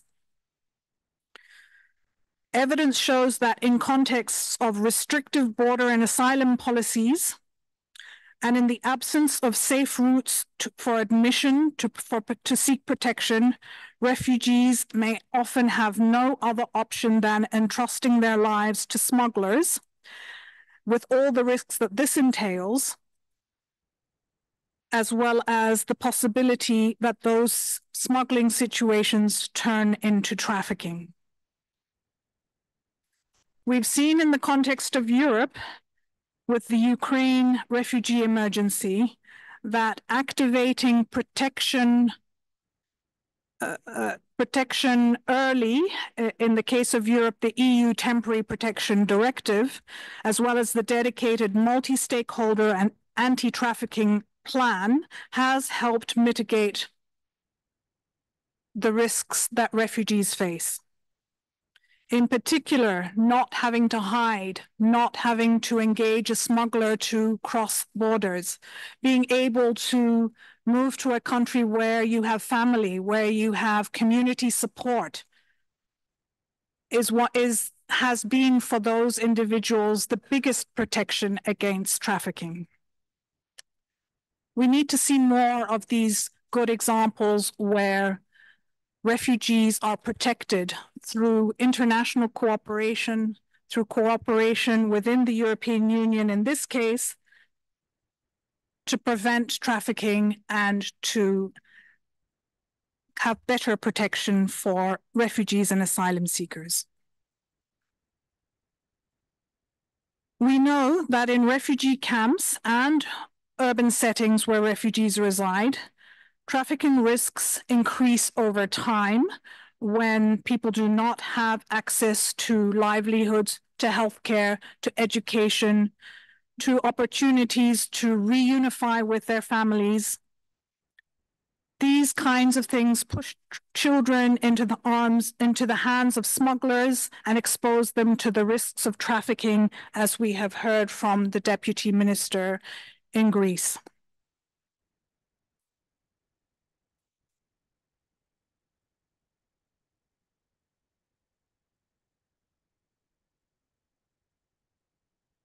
Forced displacement then is certainly a risk factor for trafficking.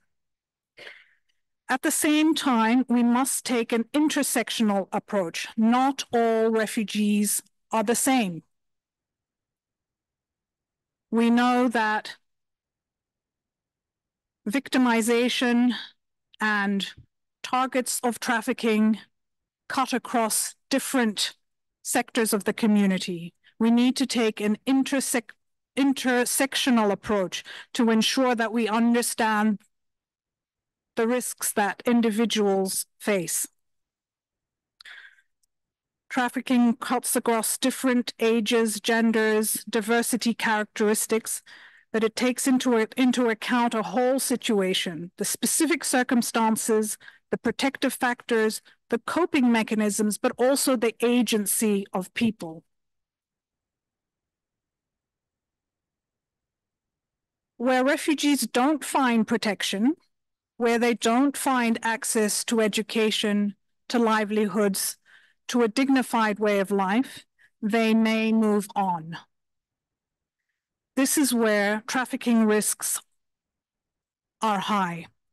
Mixed movements of refugees and other migrants of them on the move are places that are rife for traffickers. They're seeking individuals who are desperate, who are in need of alternatives.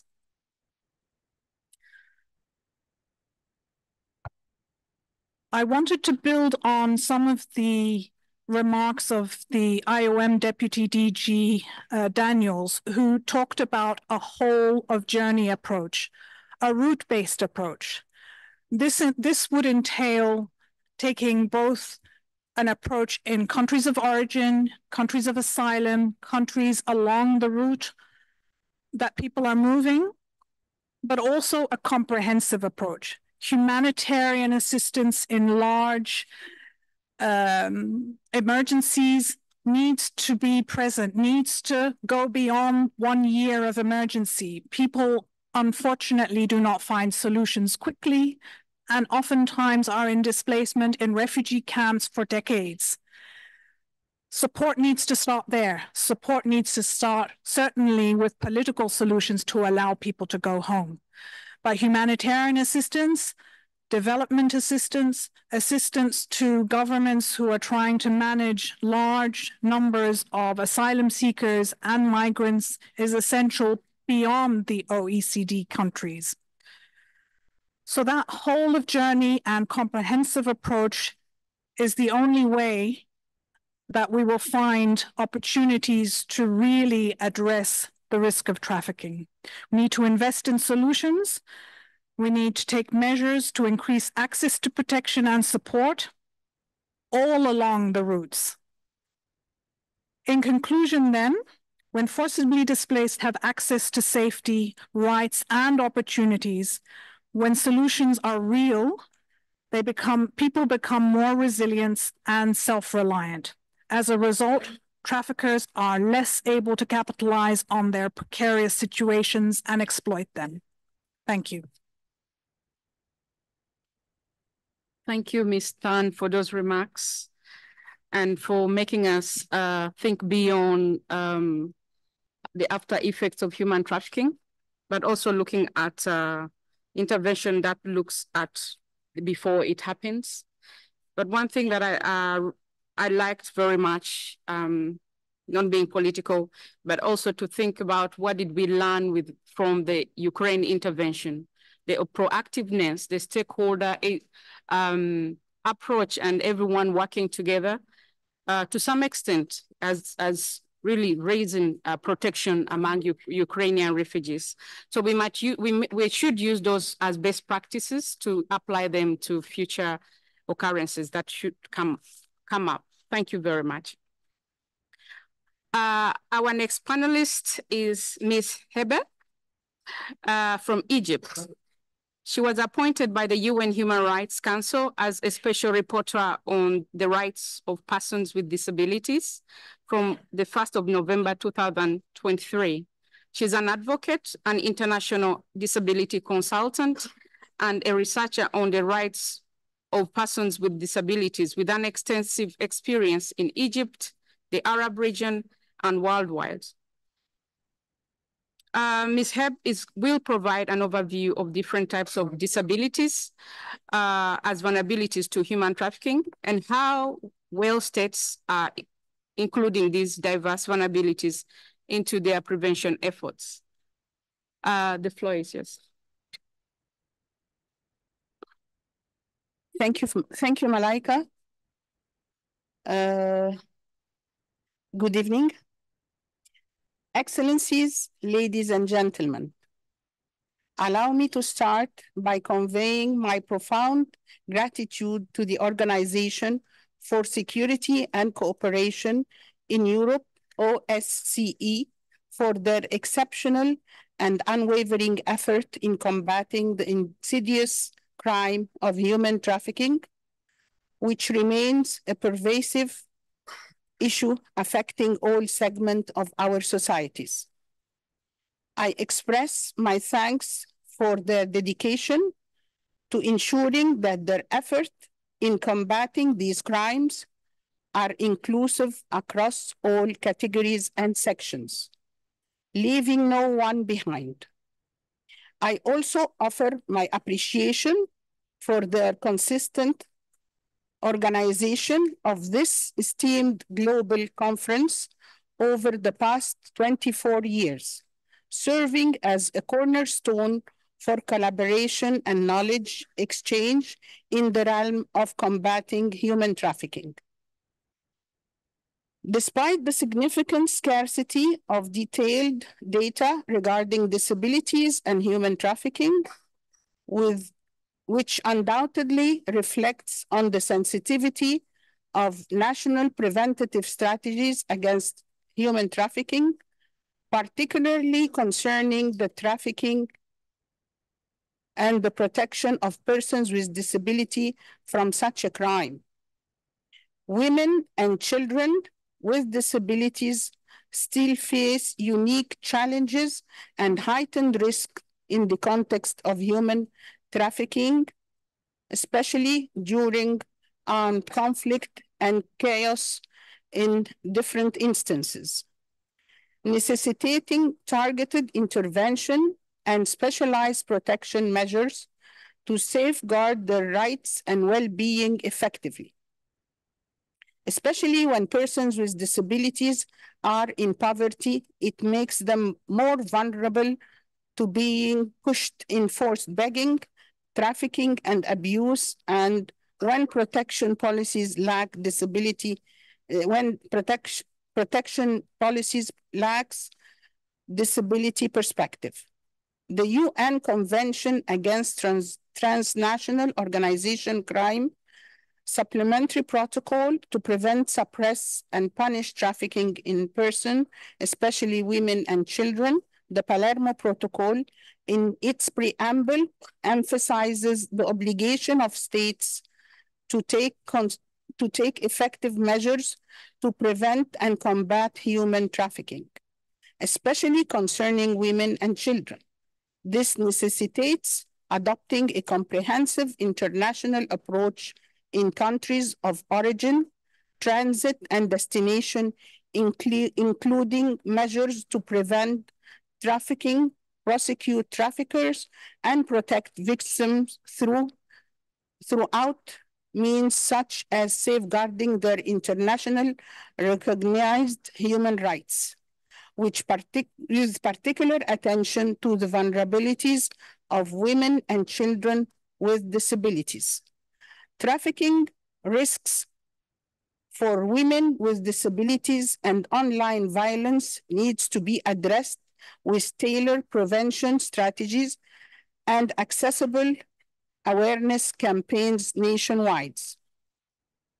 Furthermore, the UN Convention on the Rights of Persons with Disabilities came to protect individuals with disabilities from different types of discrimination, exploitation, violation to ensure their human dignity and provide justice from abuse of the victims, especially women and girls with disability, as stated in its preamble, in Article 3 and Article 5, Article 11, and mostly in Article 16 where it obligates the states parties to make all appropriate measures to promote the physical, cognitive, psychological recovery, rehabilitation, and social reintegration of persons with disability who became becomes victim of any form of exploitation, violence, or abuse, including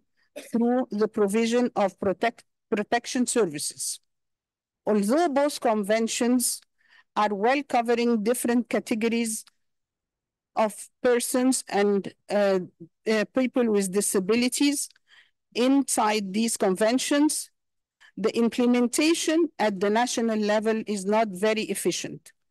In light of the aforementioned, it has become vital to address the question, how should countries consider the diversity of disability when formulating preventative strategies against human trafficking. Strategies, laws, and policies should be sensitized to the different categories who are targeted of uh, who are targets of trafficking, especially persons with disabilities. The inclusion of women and children with disabilities in the discourse of human trafficking prevention strategy is vital. Their voices and experience should be heard when developing these strategies. Therefore, when formulating anti-trafficking measures, countries must consider diverse range of disabilities to ensure that no individual is overlooked or marginalized in these efforts. Tailored initiatives and support systems should be part of, uh, put in place to address the special vulnerabilities and challenges faced by women and children with disability, recognizing their unique need and ensuring their comprehensive protection and exploitative practices and forced labor and their trafficking. When elaborating in this crucial matter, it is essential to delve into three level, levels stipulated in the Palermo Protocol for combating human trafficking, prevention at the first level, punishment of traffickers at the second level, and protection of trafficking victims on the third level. It is imperative to in integrate disability inclusive perspective at each level, promoting disability rights, including ratification of the UN Convention Against uh, Transnational Organized Crimes. Uh, actually, for more details, I, I think you should be able to attend our side event tomorrow where we are going to talk about more details in this area because I only have one minute to finish. And I thank you all for your attendance. Thank you.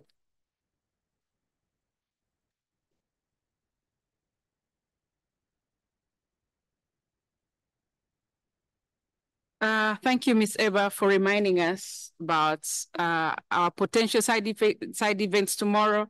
We are going to expand on most of these topics. Um, and uh, maybe to just add on what she said um, that resonates with me is that we've been, we moved from including a specific type of uh, survivors or these uh, specific people when it comes to policy intervention. But what we should look for or what we should look at that in order for us to be comprehensive, there should be a diversity of inclusion. As she says that there's multiple layers of vulnerabilities under a, the minority group. So for example, if um, if you include uh, survivors and then you include um, somebody with one set of disability or one from a particular, particular country, they do not bring the whole spectrum of inclusion. So let's try to include uh, minorities in a more um, comprehensive and a diverse way. Um, running to my next panelist, uh, Ms. Mirga. Um, she is a culture animator, political scientist, and a researcher. She has nearly 15 years of experience working in government administration in the areas of state policies towards ethnic and national minorities and in coordinating integration policies towards Roma in Poland. She is the author of several scientific articles in Rome, in Roma issues and uh, evaluation report for the European institution. Uh, Ms. Ms. Mirga she's, will provide an insight, insights on the current anti-human trafficking prevention efforts uh, to address trafficking of persons belonging to national min minorities, in particular Roma and Sinti. She will tell us more about the intersectionality between trafficking and discrimination based on race, ethnicity, and including a situation of conflicts and humanitarian crisis. The floor is yours. Um, thank you very much. Um, ladies and gentlemen, distinguished guests, uh, I would like to thank um, the organizers for the invitation to contribute uh, to this important event. Today, I stand before you to shed light on the critical issue um, often overlooked uh, in discussions on human uh, trafficking, the intersection of gender, race, ethnicity, and its impact uh, on the vulner vulnerability of minority individuals. In particular, I will focus uh, on Roma communities who have historically been often the victims of various forms of uh, oppression. Um, Roma constitute the single largest ethnic minority group in Europe with, the with an estimated population 10, 12 million. Their level of poverty and social exclusion remains high across the OSCE region, uh, resulting in higher level of vulnerability, vulnerability. For instance, the European Union strategy towards the eradication uh, of trafficking, trafficking in human beings 2012-2016 defines Roma as a vulnerable group at greater risk of human trafficking. In the 2019 Trafficking in Person report, Roma were mentioned as a vulnerable group in 29 of 57 OSCE participating states. Uh, trafficking in human rights being, uh, beings is often on, analyzed from a perspective that emphasizes gender, overlooking the impact of discrimination based on race and ethnicity. Marginalization, stigmatization, and disempowerment coupled with limited access to essential services, education, job opportunities, significant, significantly contribute to the um, vulnerable, vulnerability of these individuals to human trafficking. In this regard, I welcome the upcoming OSCE publication on addressing uh, the dynamics of trafficking in persons belonging to minorities and their effort to shed light on this interse intersectionality that increases the risk of trafficking. The Roma community often relegated to segregated settlements is at risk of human trafficking for two main reasons. Firstly, it is isolated um, uh, from the majority population through social ex exclusion and negative stereotyping. And secondly, there is a lack of integration into anti-trafficking initiatives within the broader social support services, such as health and education, where prevention measures may be effective. Romani women and children are largely overrepresented as victims regardless of the purpose of the, um, of, the of trafficking. It is, however, very difficult to establish a precise extent of trafficking in Roma communities. Few Roma are identified by police as a trafficked person, but rather as criminals. Many are reluctant to self-identify and approach um, law um, enforcement agencies for fear of um, reprisal from traffickers or of prosecution for the conduct of criminal acts. The fourth status uh, report, implementation of the action plan on improving the situation of Roma and Sinti within the OSCE area, published by OSCE Office for Democratic Institutions and Human Rights, reveals that Roma and Sinti women are highly uh, susceptible to various forms of uh, discrimination when they are victims of crime.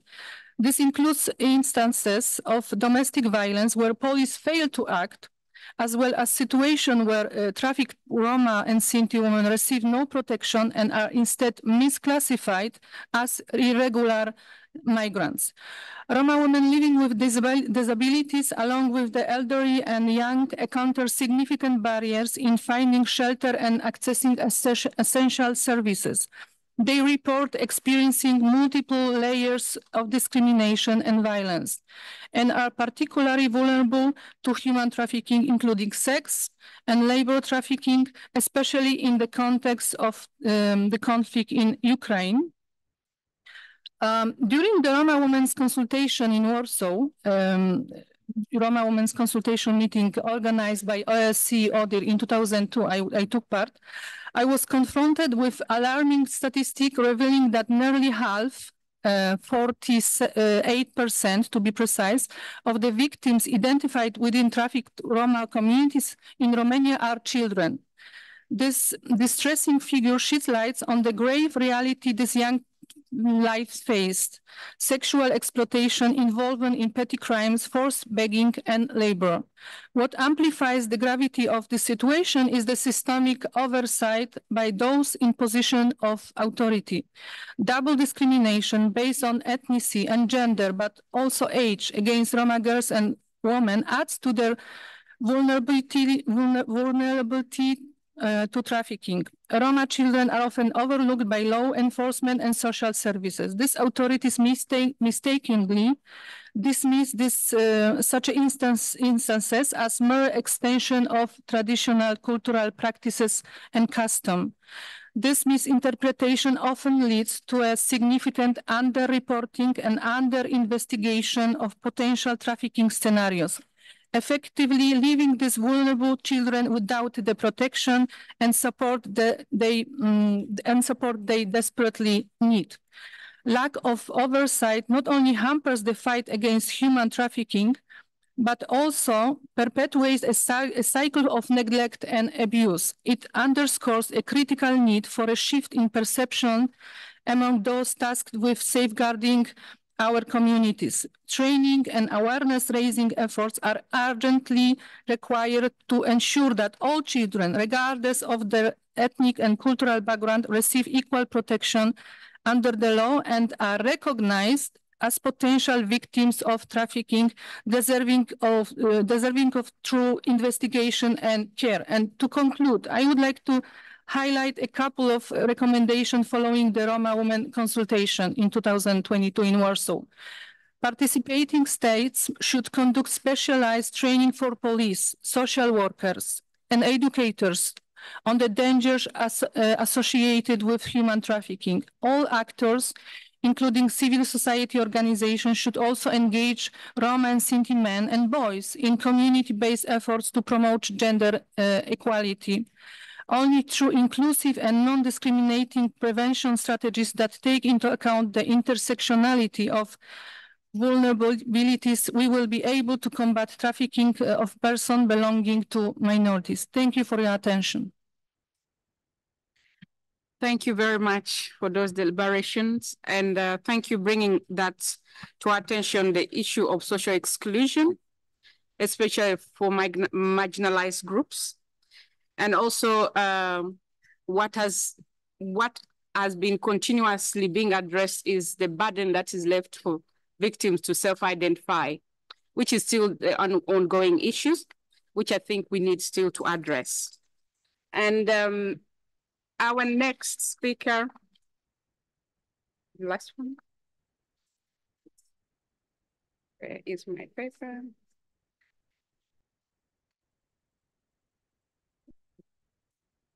Samir Rizwan. Hmm? Samir Rizwan. Samir Rizwan. Yeah. His bio will be on the screen. Yes. Um, apologies, Mr. Samil. Uh, our last speaker is uh, Mr. Samil Rizovo, the National Anti-Human Trafficking Coordinator from Bosnia. Um, the floor is yours. Thank you, Lady Moderator. Your Excellencies, Honorable Special Representative and Coordinator, ladies and gentlemen. First of all, I would like to congratulate Ms. Uh, Johnson on her appointment and wish her success in future work. It is my great pleasure uh, to present the experience of Bosnia-Herzegovina in targeting vulnerability as well as diverse forms of trafficking, including those forms that are often overlooked especially trafficking for the purpose of forced criminality and forced uh, begging that we gained in the last years. Uh, the two forms that are not specifically defined as forms of exploitation in the Palermo Protocol and Council of uh, Europe uh, Convention, despite that a long ago we all could uh, read and watch uh, books and movies like uh, Oliver Twist and the similar, where such kind of the trafficking was very well present. And also kind of the trafficking where the victims are uh, almost exclusively uh, vulnerable groups from the uh, minority groups, from the minors, and also persons with the, the disabilities. At the beginning of the development of our anti-trafficking response against forced criminality and forced begging as forms of trafficking, we were fully aware that we have to have a comprehensive understanding of the diverse vulnerabilities within the groups involved in such forms of trafficking, especially among professionals in law enforcement, prosecution, and judiciary. This includes recognizing the intersectionality of gender, social, and economic inequalities that contribute to trafficking crimes, understanding how traffickers exploit these uh, vulnerabilities, and acknowledging the prevalence for forced criminality and forced uh, begging in our actions, we have been facing challenges in the different, uh, in the uh, effective prosecution of those two forms due to the fact that during alignment of domestic legislation with Palermo Protocol and Council of Europe Convention, we did not introduce in the definition of trafficking, forced criminality and forced begging as force of uh, exploitation. Uh, we have to convince our professionals that forced criminality and forced begging are form of forced labor or services and sometimes practices similar to slavery. Factors indicative of the criminal offense of trafficking were not recognized of or uh, qualified as uh, such.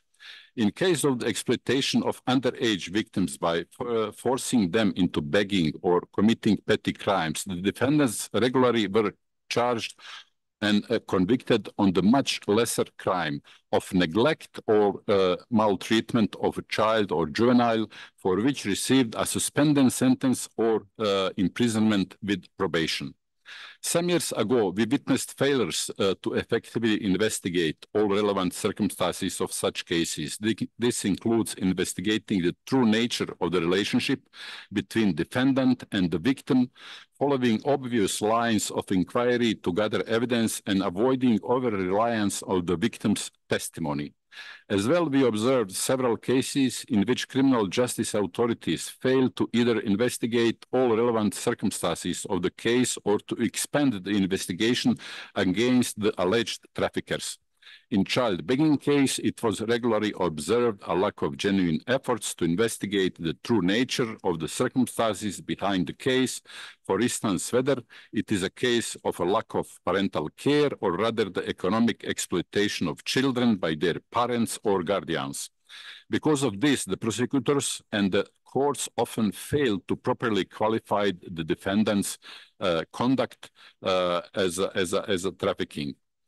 Uh, the light treatment of child begging cases has resulted in the cases of child begging being prosecuted under the criminal offense of neglect or maltreating a child or juvenile, despite the prima facie presence of elements of human trafficking. In many cases, the evidences indicated that, that defendants had exploited underage children, sometimes their own, for forced uh, begging.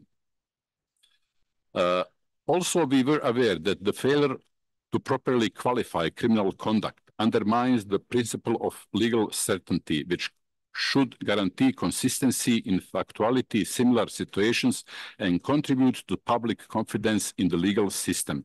As the European Court of Human Rights remarks, the, uh, the persistence of divergent judicial practice can, can create a state of legal uncertainty likely to reduce public confidence in the judicial system, whereas such confidence is clearly one of the essential component of the state based on the rule of uh, law.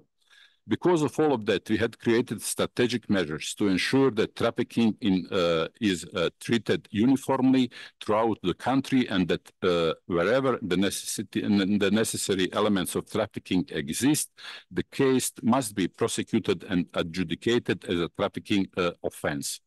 After a years of the implementation of the strategic measures designed to suppress trafficking for the purpose of forced begging and forced criminality, uh, especially law enforcement and judiciary capacity building measures, we can notice that entire, uh, that entire awareness and approach toward forced begging and forced criminality has been changed. Instead, failures to investigate, instead improper qualifications, instead acquittals of the cases with the justification that such forms of exploitation of children are part of the tradition of the some minority uh, groups, uh, part of the customs, part of their culture. Now, recently, we are witnessing convictions of trafficking who exploited victims of trafficking for the purpose of forced criminality and forced uh, begging.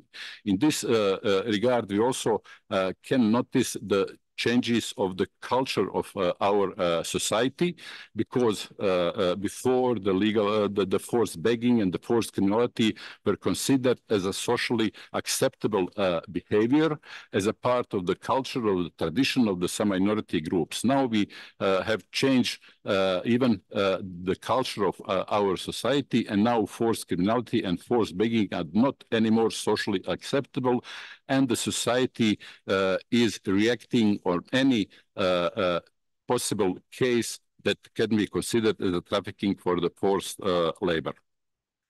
Uh, also, uh, our jurisprudence so far can witness that we succeeded in the changing of the culture and changing of the entire uh, approach towards those two forms of the trafficking who uh, were overlooked in uh, international documents, but also overlooked in our national legislation, that forced criminality and the forced begging is not a, necessity of the certain group of the people, but uh, there are also few, some cases that are the, the necessity uh, of the uh, certain families or groups, but that the majority of the such cases are actually the organized uh, criminal uh, criminal activities. our jurisprudence in the last years uh, have uh, more example of the successful investigation. And we also have the uh, convictions for the both kinds of criminality and the force begging and the force criminality where uh, organized criminal groups, for example, in one uh, case were sentenced for the 74 years of uh, imprisonment for the uh, force begging, while for the force criminality, the conviction, conviction uh, was in total of 33 uh, years for organized criminal criminal group. Uh, this case uh, of the forced criminality, trafficking human beings, also was a transnational uh, case where the group of the young uh, women and uh, children were uh, recruited for the pickpocketing in the one of the countries of the European Union, and where the the in financial investigation showed that around 2 million euros of illegal proceedings were uh, only transferred from uh, uh, from France to Bosnia Herzegovina, where was the seat of the organized organized criminal groups. So to conclude, uh, if we uh, effectively implement targeted and uh, impactful prevention strategies against human trafficking and develop comprehensive understanding of the diverse vulnerabilities within the human trafficking landscape, particularly those that are often overlooked in anti-trafficking responses, it is possible to make progress and even make cultural changes in uh, that uh, regard. Thank you. Thank you very much, Mr. Shamil.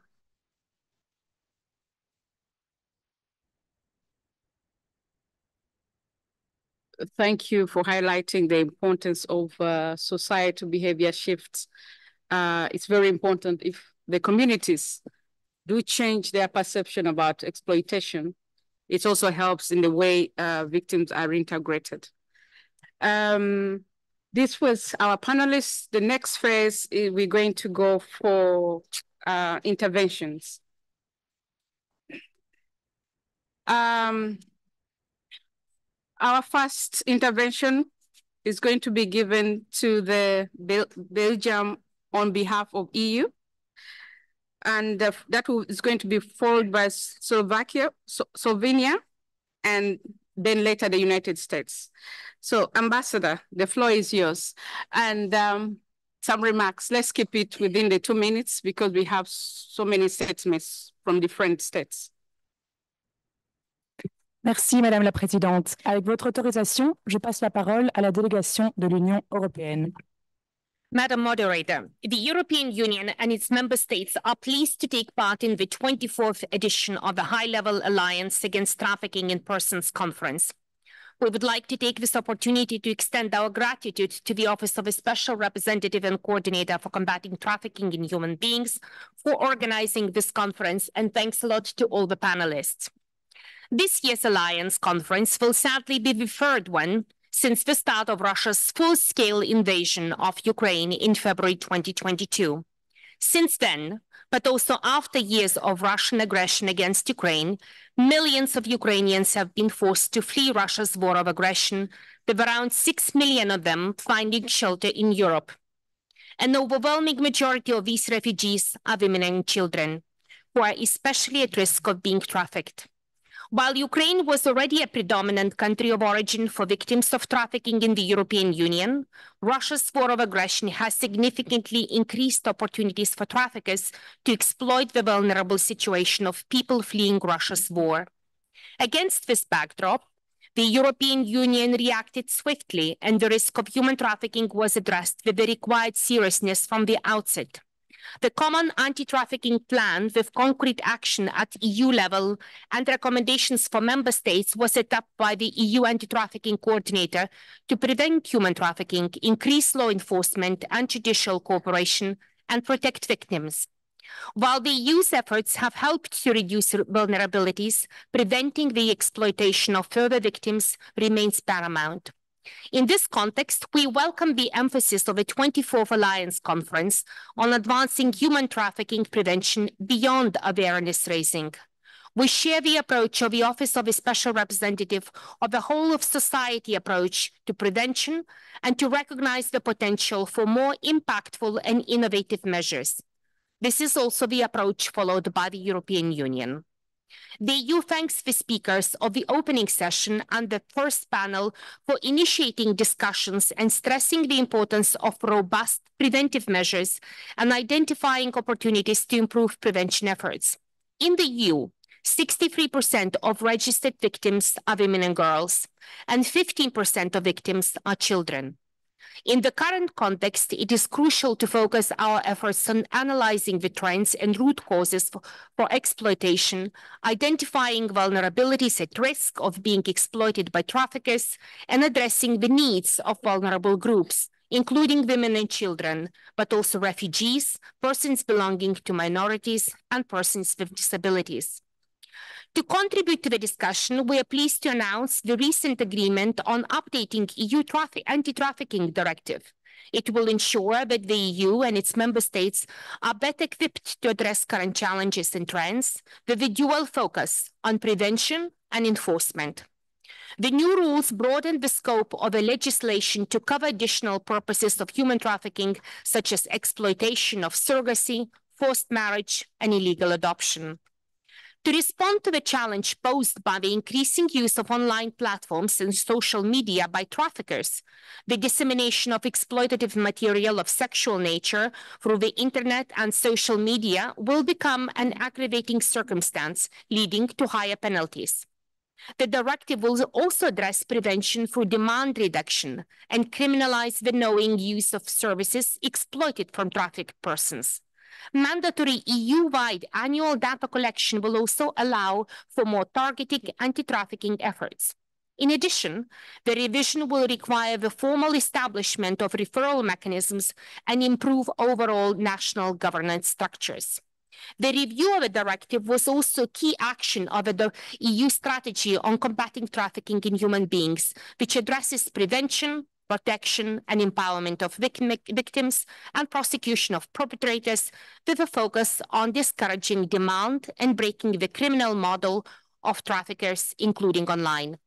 We look forward to continuing our discussions on countering trafficking in human beings during the Alliance Conference and hope that this outcome will inspire all of us to pursue and improve our efforts to fight this crime. Thank you, Madam Chair. Thank you, um, Ambassador. Now I give the floor to the State Secretary of Slovenia, followed by the United States and United Kingdom. Ambassador, the floor is yours. Thank you for giving me the floor, Madam Chair. First of all, I would like to thank the OSCE for organizing this event. Preventing action is of key importance in combating trafficking in human beings, as it can stop trafficking before it even begins. I would like to highlight that all activities in the field of combating trafficking in human beings in Slovenia, including prevention, are based on two-year action plans adopted by the government. The government is constantly reviewing the legislation and other anti-trafficking measures to improve the fight this is also reflected in action plans, which are being regularly upgraded with new measures adopted to new trends and challenges in this field. In terms of awareness rising among vulnerable groups, special attention has been to pay to children and youth as well as the Roma community. In 2021, the Ministry of Interior introduced a systematic and long-term awareness-raising approach by carrying out workshops in all primary and high schools in the region in Slovenia. Another group extremely vulnerable to exploitation consisting of migrants, refugees, asylum seekers and displaced persons, Slovenia, like the rest of the European Union, has been dealing with a disproportionate number of people applying for international protection in recent years. In the current situation, the Slovenian government has recognized the importance of a comprehensive approach to migration management which is why the migration and integration strategies have been recently adopted. The new migration strategy strives to ensure safer migration routes and effective asylum procedures while respecting fundamental human rights and freedoms and protecting vulnerable groups. At the same time, it also addresses the needs of the economy and the employment of foreigners and more effective control over the employment of foreign workers. Continuous awareness raising among migrants about their rights and works with employers to create decent working conditions is also an essential part of prevention. In this regard, I would like to mention the project within live exhibits exploited workers were placed in human-sized sales packages which were displayed in the main streets in order to raise employers' awareness of human trafficking, the project has also produced a digital advertising catalog with different profiles of the most frequently exploited work workers, which has been distributed to more than 200 companies in Slovenia. All these measures are a sign of the government's continuous efforts to combat trafficking in human beings, but there is always room to improvement and need to do more. In the future, we will also have to strengthen our activities among other vulnerable groups to which we have perhaps not paid enough attention so far. I'm convinced that this conference will provide us with some new idea. Thank you for your attention. Thank you for your remarks. Um, the, the next floor goes to uh, the United States Ambassador at Large, followed with uh, uh, France.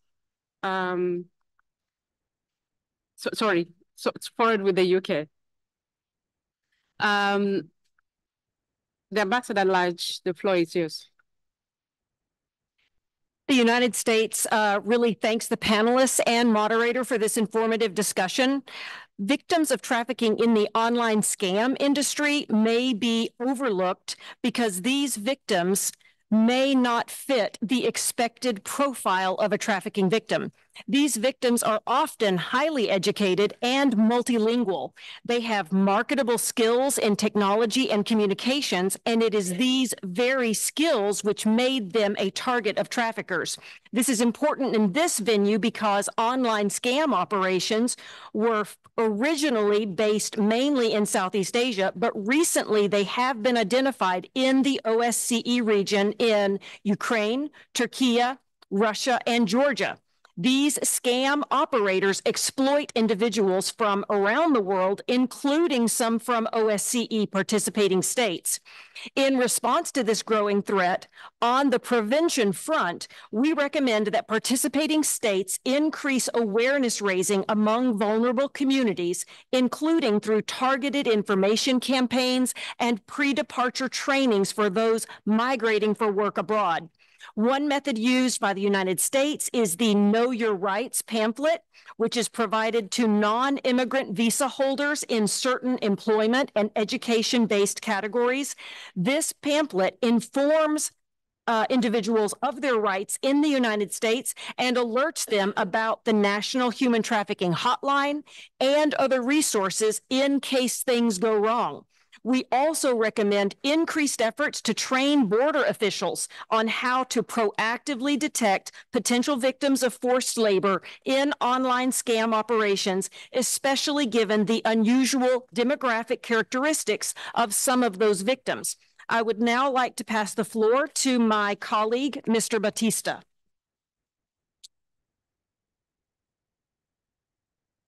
Thank you, Ambassador. Thank you, everyone. Um, I would like to emphasize the vulnerability of undocumented immigrants who are often expected to be providers for their loved ones back home. Many resources are created exclusively for survivors of sex trafficking and not for labor trafficking survivors. Most of them are created for uh, women and, and minors. The US government Know Your Right brochures is a great tool to educate and prevent human trafficking. And I encourage everyone to create one of those and pass it around to every person who is entering your region or your uh, territory. Thank you. Thank you for your remarks. Um, the next floor is going to be given to United Kingdom, modern day, modern day slavery convoy, and followed with France. Well, thank you, uh, moderator, and uh, and also to the panelists for their insightful uh, presentations today. Um, the United Kingdom recognises that prevention is the absolute cornerstone of an effective response to modern slavery and human trafficking.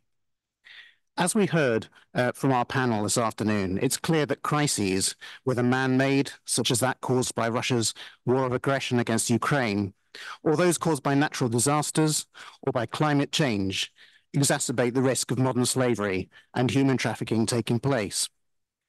We've heard during this session about the challenges faced by individual people in vulnerable circumstances, including women and children. But not only, and I commend Mr. Bautista's uh, uh, intervention in the previous session on that point. Now, over the past 10 years, uh, the United Kingdom's flagship modern slavery program, Work in Freedom, has striven to prevent uh, the trafficking of women and girls across migration pathways. This has helped to generate a valuable body of evidence on how to address the drivers of exploitation, which, in, which we are now sharing with the international community, including uh, in the OSCE region. It's vital that OSCE participating states continue to work together both bilaterally, and I'm pleased to see several of our valued bilateral partners here today, and multilaterally, and with civil society, including Alliance 8.7 and the new Global Commission on Modern Slavery and Human Trafficking. By harnessing these partnerships, we can further develop the evidence base on what kinds of approaches work to prevent modern slavery and human trafficking. Central to this is ensuring that the voices of survivors and affected communities are closely involved. And it is for this reason that the United Kingdom, on the 75th anniversary of the Universal Declaration of Human Rights, pledged to support survivor-led organizations and civil society working to end modern slavery in our funding to international programs. Finally, uh, I'd like to thank you, Special Representative, uh, for your uh, international leadership and the pivotal role your office has played in understanding vulnerability and shining a light on emerging and overlooked forms of trafficking. This is something uh, we must all be alive to. Thank you. Thank you. Now the, the next floor goes to France. Merci, Madame la modératrice. Pardon. Euh, la France, bien évidemment, s'aligne sur la, la, déclaration de l'Union européenne, mais je voudrais ajouter quelques, quelques mots en ma capacité nationale. D'abord, évidemment, pour euh, ajouter ma voix euh, à tous les remerciements qui vous ont été formulés à vous, Madame la représentante spéciale, et, à tous les précédents intervenants. Et je voudrais à mon tour souligner en particulier les témoignages à la fois très forts et, et très instructifs de Monsieur Baptiste et, de vous-même, euh, euh, Madame Malaika Oringo. Merci beaucoup euh, pour, cela. La France est pleinement engagée dans la lutte contre la traite des êtres humains, en particulier au sein de l'organisation OSCE. Je me réjouis du, du succès de l'atelier qui s'est tenu à Paris le 31 janvier dernier sur la mise en œuvre des recommandations du bureau de Madame la représentante spéciale quant aux mesures de prévention de la lutte contre la traite des êtres humains dans le contexte des flux migratoires massifs provoqués par la guerre d'agression russe en Ukraine. L'importante participation à cet événement démontre l'engagement de tous les acteurs français à ce sujet et je voudrais saluer un certain nombre d'entre eux euh, issus de la société civile qui ont fait le, le déplacement aujourd'hui comme chaque année. Le 11 décembre dernier, la ministre chargée de l'égalité entre les femmes et les hommes et de la lutte contre les discriminations a présenté le troisième plan d'action national de lutte contre la traite des êtres humains. Ce plan d'action a une double vocation. D'abord, mieux protéger les citoyens mineurs et majeurs, français ou issus des migrations, contre les atteintes à la dignité humaine que constituent les différentes formes de traite.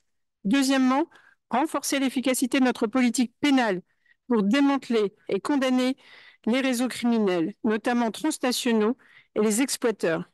La mission interministérielle pour la protection des femmes contre les violences et la lutte contre la traite des êtres humains, la MIPROF, qui a coordonné le travail de rédaction de ce plan, suit désormais la mise en œuvre de celui-ci.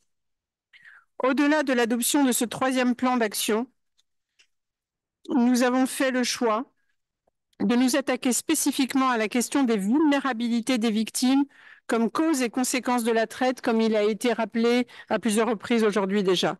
Cette priorité vise à mettre en exergue l'utilisation par les trafiquants des situations de vulnérabilité des victimes, telles que les addictions, les pathologies psychiatriques et ou physiques, les vulnérabilités affectives, économiques et financières à des fins d'exploitation.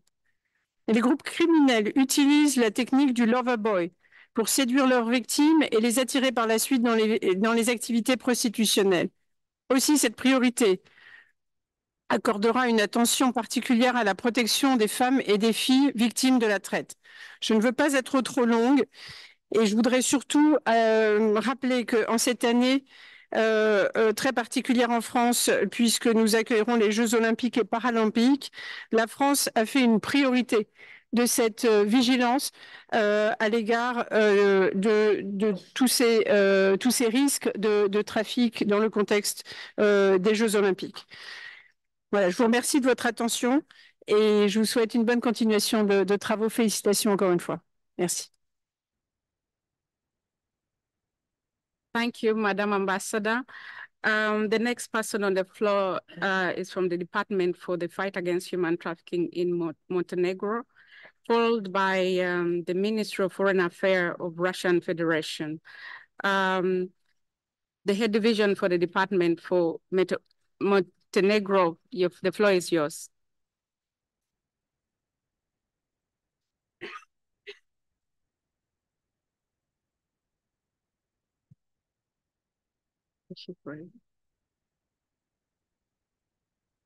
Sorry for this. Uh, Madam Chairperson, um, we would like to I have a great honor and pleasure to address you today on behalf of the Montenegrin delegation and on behalf of the Ministry of Interior, which coordinates the implementation of the national policy against trafficking in human beings.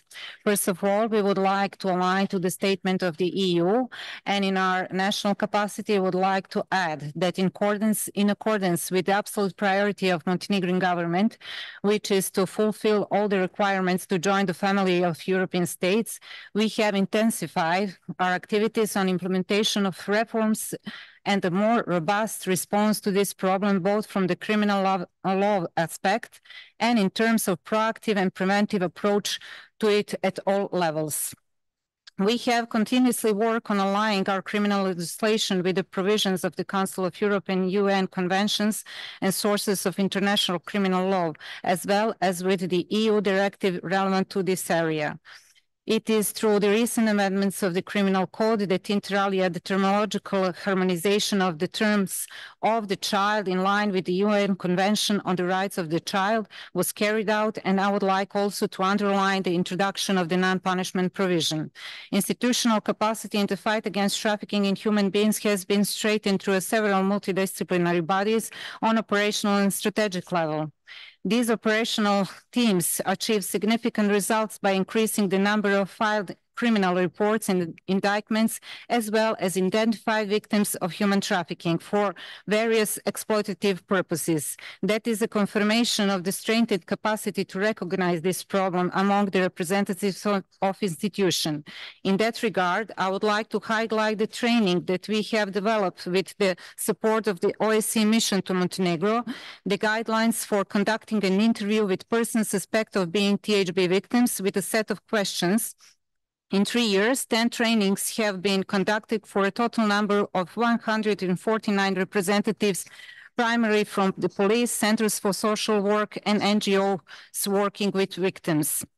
The focus of our activities is also to strengthen the res resilience of children and young people in particular in relation to this phenomena, in connection with which we have found the main alliance in the efforts through education and awareness raising. We continuously conduct trainings for those who work directly with children, teachers in primary and secondary schools on the ways to transfer knowledge about THB uh, through educational system uh, uh, in one of the training program on the topic educational system in the prevention of child trafficking, illicit marriage, and economic exploitation of children. These forms of exploitation are precisely the ones that are happening under the guise of customs and tradition. We have also paid special attention to the issue of increased vulnerability to trafficking in human beings to a population of migration caused by the war conflicts and also for foreigners seeking international protection. We created and developed multilingual brochures with key information about THB. In order to raise the general public awareness about this phenomena, last year in cooperation with the International Organization for Migration and local NGOs, we implemented a campaign to mark the World Day against against trafficking in persons in 15 Montenegrin municipalities, where we talk with hundreds of citizen tourists and travelers about the phenomenon of THB. We also allocate funds to support NGO programs and projects in the field of protection and promotion of human and minority rights. We are also committed to further investing efforts in promoting gender equality, combating violence against women and children, early forced marriages through the adoption of strategic acts, campaigns, educational workshops, and trainings. We recognize the needs to further develop online prevention campaigns at all levels.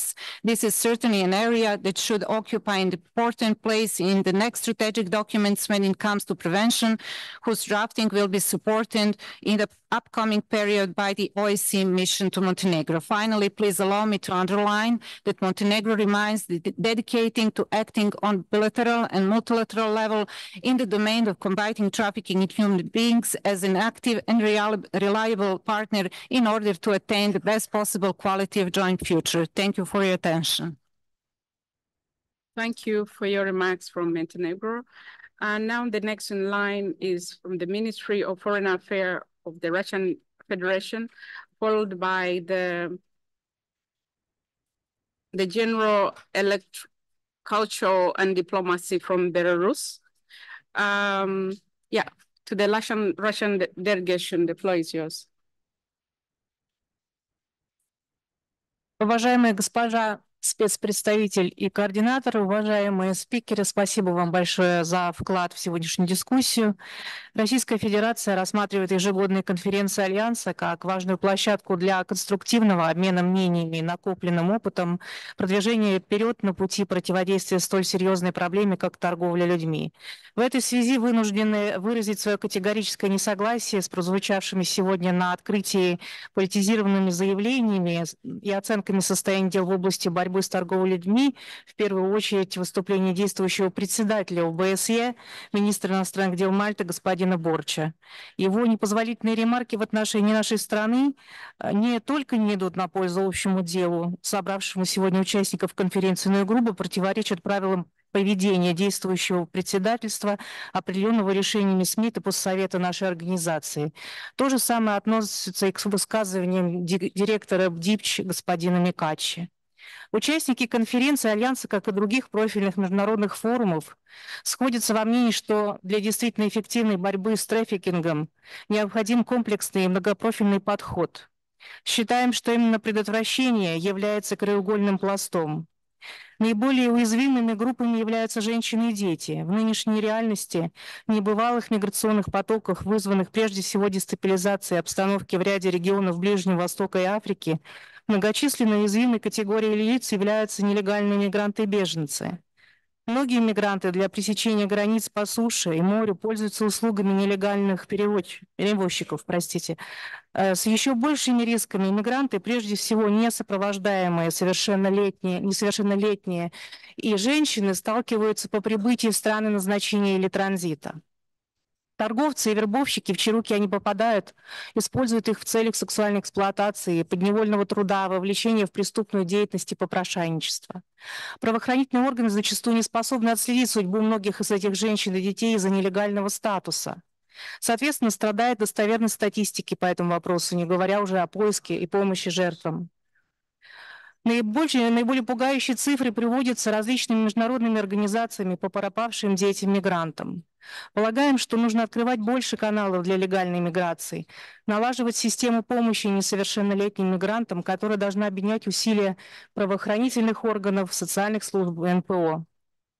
Кроме того, необходимо обеспечить надлежащие условия в центрах размещения мигрантов, во временных лагерях, так как именно нечеловеческие условия, а нередко и применение к ним пыток заставляют мигрантов покидать места размещения и попадать в сети преступников. К сожалению, в ряде регионов мира обстановка не просто нестабильная, а конфликтная. И в такой ситуации крайне сложно оказывать детям-жертвам либо потенциальным жертвам торговли людьми необходимую помощь. Что касается недостаточно изученных форм торговли людьми, то недооцененной формой трафикинга по-прежнему остается торговля людьми в целях извлечения органов, клеток и тканей человека. Ее жертвами становятся как дети и женщины, так и мужчины, в том числе военнослужащие в зонах конфликта. Деятельность черных трансплантологов, которая зачастую носит трансграничный характер, крайне сложно раскрыть и пресечь. Осложняется такая работа еще больше в тех случаях, когда преступников фактически покрывают власти. Приветствуем, что при предыдущем спецпредставителе и координаторе ОБСЕ по торговле людьми, по борьбе с торговлей людьми, э, господине Ричи, Ричи, организация начала заниматься данной проблемой. В 2020 году прошла встреча экспертов по торговле людьми в целях извлечения органов. Полагаем, необходимо продолжать эту работу на площадке ОБСЕ. С позитивом отмечаем также работу спецпредставителя координатора по борьбе с торговлей людьми госпожи Джонстон, начатую по изучению взаимосвязи между торговлей людьми и распространением наркотических средств. Желаем участникам конференции конструктивной и плодотворной дискуссии. Спасибо за внимание. Thank you very much for your remark. Uh, from head of division from the Ministry of Foreign Affairs, the Russian Federation. And now next in line, as I mentioned, is um, the Directive General for Multicultural Diplomacy, Belarus, followed by the delegation from Georgia. Thank you. Thank you, Madam Coordinator. Um, thank you for this opportunity to intervene. Uh, such landmark events as today's um, is an excellent opportunity to reflect on the achieved progress and to look to look uh, into the future of our collective works. And and, and I hope that uh, our discussion this day and the, the upcoming day will will provide the excellent uh, possibility for for all of us to exchange the views and reflecting on some um, uh, on some um, uh, opinions uh, already discussed today and some opinions already raised today. I would like to um, say that um, uh, the gravity of the current trafficking situation in, is worsened by multiplying factors, and it's al already been uh, mentioned today. And these multiplying factors are humanitarian and health crisis, conflicts, um, climate change, and weaponization of technological progress. And such multi-dimensional nature of the trafficking crimes uh, requires a comprehensive response from, from, from the international community and multilateral organizations. And that is why we are all here. And we hope on fruitful cooperation in this matter. Some of the uh, recent reports of the um, multilateral organizations and including some structures as UNODC from last year have highlighted several alarming findings showing that uh, trafficking particularly trafficking for sexual exploitation has become less um, detectable, with more victims having to stay on their own with their with their problems, and rather than the uh, with the support of their immediate uh, family and community, law enforcement or civil society, and such pro proliferation of mixed forms of exploitation, of course, have um, surfaced you know, um, as major have surfaced major problem, uh, the problem of of, of difficulty of detection of these crimes. And uh, another aspect has been uh, has gained uh, unfortunate prominence is, uh, is is trafficking in persons in supply chains.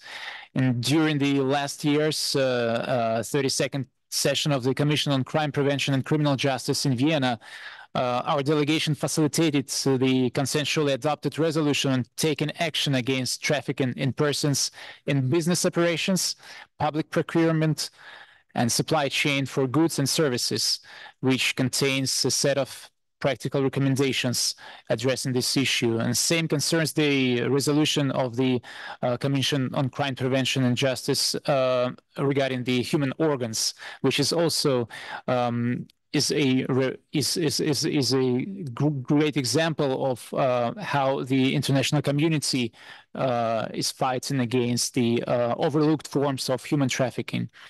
Um, technologies, as I already mentioned, particularly the internet, uh, provide new risks for potential victims to be targeted, regardless of their social economic status.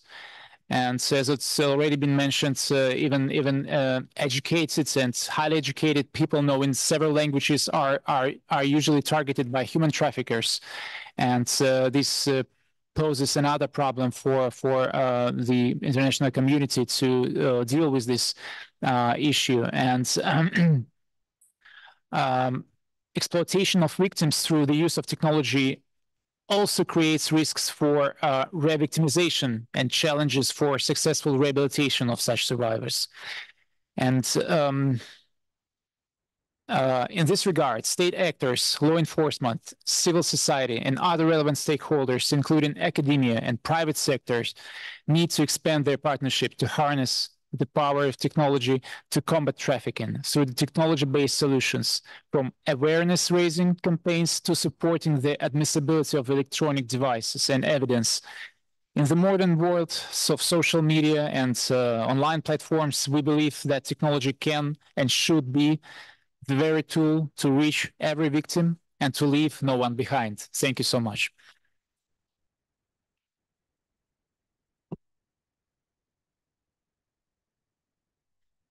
Um, thank you for those uh, remarks. Um, uh, in mindful of time, we apologize. Uh, we're going to have one last um, statement from the delegation from Georgia. Please, the floor is yours. Thank you.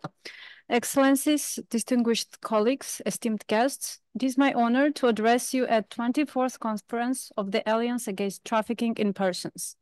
Today we convene with the shared purpose to combat one of the gravest injustice of our time. Human trafficking is a blight on our collective humanity, depriving individuals of their dignity, freedom, and basic human rights.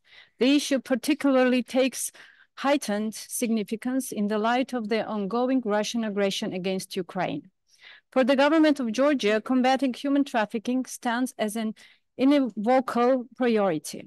We have established a robust, relevant legal framework supported by the comprehensive, proactive, and collaborated action coordinated by the Interagency Coordinating Council on Combating Trafficking in Human Beings the Council brings together governmental agencies, civil society organizations, and international partners, harnessing their expertise to combat trafficking effectively. In our efforts to combat trafficking, a comprehensive analysis and identification of potential target groups are paramount. While about, talking about vulnerable groups of the uh, THB crime, it should be noted that for years, the issue of children living uh, and working on the streets has been one of the main challenges. To this end, government of Georgia has elaborated the governmental strategy on protection of homeless children from violence, including THB and its action plan that is soon to be enacted. Yet, this is but one facet of our endeavor, as the diversity of trafficking crimes and potential victims necessitates a multifaceted approach. Hence, investing in prevention measures is a crucial part of our anti-THB policy. We unleash a proactive, uh, proactive information campaign under the Common Information Strategy.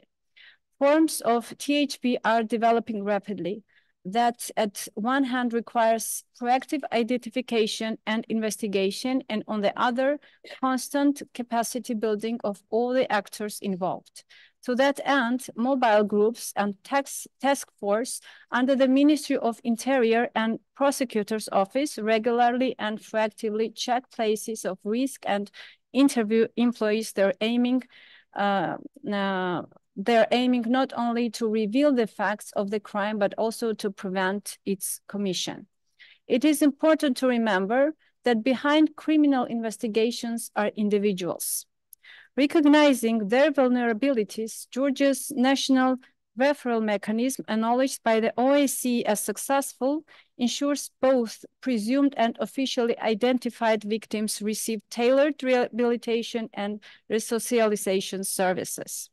Moreover, given the fact that children are the most vulnerable group, a special uh, psychological social service center, so-called Barnahus model for minors who are victims of sexual violence, including sexual exploitation is in place, offering child-friendly, multidisciplinary, and interagency model for responding to child violence cases. In closing, while the future tendencies of the trafficking remains uncertain, our collective resolve remains steadfast. Together, we can forge policies that are robust, comprehensive, and collaborative, paving a way for a future free from the scourge of trafficking. Thank you.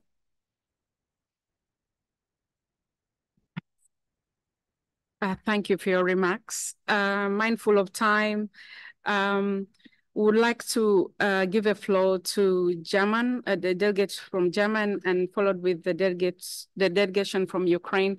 Please keep it under two minutes because we are closing at six. Sehr geehrte Frau Sonderbotschafterin Dr. Johnstone, liebe Kari, äh, sehr geehrtes Panel, Exzellenzen, sehr geehrte Kolleginnen und Kollegen. Im Anschluss an das EU-Statement möchte ich die Gelegenheit nutzen, auch noch einige für Deutschland bedeutsame Punkte ähm, hervorzuheben. Zuallererst möchte ich Helga Schmidt danken, die als Generalsekretärin von Beginn ihrer Amtszeit an die Mehrheit, äh, die Arbeit gegen Menschenhandel priorisiert und vorangetrieben hat. Dies hat die OSZE befähigt, ihr Potenzial im Kampf gegen Menschenhandel zu nutzen und zu vergrößern, für die Menschen der gesamten Region und darüber hinaus. Ihnen, Frau Sonderbeauftragte Johnstone, gilt unser ganz besonderer Dank für die Ausrichtung dieser wichtigen Veranstaltung. Sie und Ihr Team sind eine treibende Kraft im weltweiten Kampf gegen den Menschenhandel und zeigen tagtäglich, welchen Mehrwert die OSZE für die Menschen erbringt. Durch Ihr Engagement erhalten Betroffene und Überlebende eine Stimme und Sie weisen Wege auf, wie wir durch gemeinsame Anstrengungen die Ausbeutung von Menschen verhindern können. Trotz der erzielten Fortschritte bleibt Menschenhandel ein verheerendes Problem und wird durch Konflikte und deren verantwortliche Auslöser weiter verschärft. Der unprovozierte und durch nichts zu rechtfertigende illegale Angriffskrieg Russlands gegen die Ukraine hat in den letzten zwei Jahren leider weitere Millionen von Menschen, insbesondere Frauen und Kinder, in Gefahr gebracht. Ebenfalls vor Beginn der brutalen völkerrechtswidrigen russischen Invasion der Ukraine im Jahr 2022 erlebten wir Jahre der fortwährenden Aggression gegen die Ukraine und damit verbundenen Vertreibung und Flucht mit einer erhöhten Gefahr des Menschenhandels. Wir erleben die größte Vertreibung von Menschen in Europa seit dem Zweiten Weltkrieg. Gerade diese Menschen sind am verwundbarsten. Und daher ist Ihre Arbeit, Dr. Johnstone, angefangen bei der Prävention über den Schutz der Opfer bis hin zur strafrechtlichen Verfolgung und Verurteilung der Täter wichtiger denn je. Und genau das macht die OSZE im Kampf gegen Menschenhandel so wichtig. Durch ihren umfassenden äh, multidimensionalen Sicherheitsansatz ist die OSZE ideal positioniert, um bei der Entwicklung wirksamer und umfassender Antworten zu unterstützen. Menschenhandel entmenschlicht und beraubt die Betroffenen ihrer Würde ihrer Freiheit und ihrer Grundrechte. Es liegt in unser aller Verantwortung, diesem Übel entschieden entgegenzutreten. Deutschland ist und bleibt ein starker Unterstützer der OSZE-Aktivitäten zur Eindämmung des Menschenhandels. Und Sie, Frau Sonderbotschafterin, können auch im Jahr 2024 auf die substanzielle und starke Unterstützung Deutschlands zählen. Vielen Dank.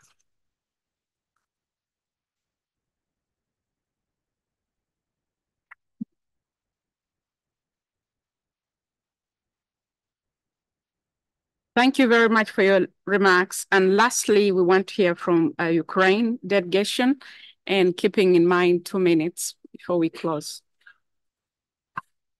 Uh, thank you very much, uh, Madam Moderator. Uh, good evening, distinguished participants. Uh, first of all, I would like uh, to thank uh, the OSCE Special Representative and Coordinator for Combating Trafficking in Human Beings, Dr. Kari Johnstone, and her Office for uh, organizing this uh, important uh, conference.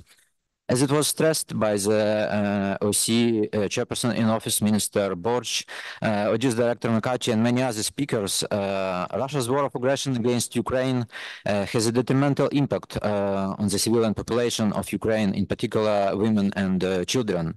Russia's war has forced over 14 million people in Ukraine from their homes as refugees and IDPs, which represents around one third of the Ukrainian population. Uh, it, remain, it, remains the largest humanitarian displacement crisis uh, in the world uh, today. Moreover, thousands of Ukrainians, including children, are forcibly deported from the invaded territories to Russia, including the most uh, remote regions. In Russia, they face intimidation, ill treatment, uh, labor and sexual exploitation, trafficking in persons, and other abuses and uh, threats.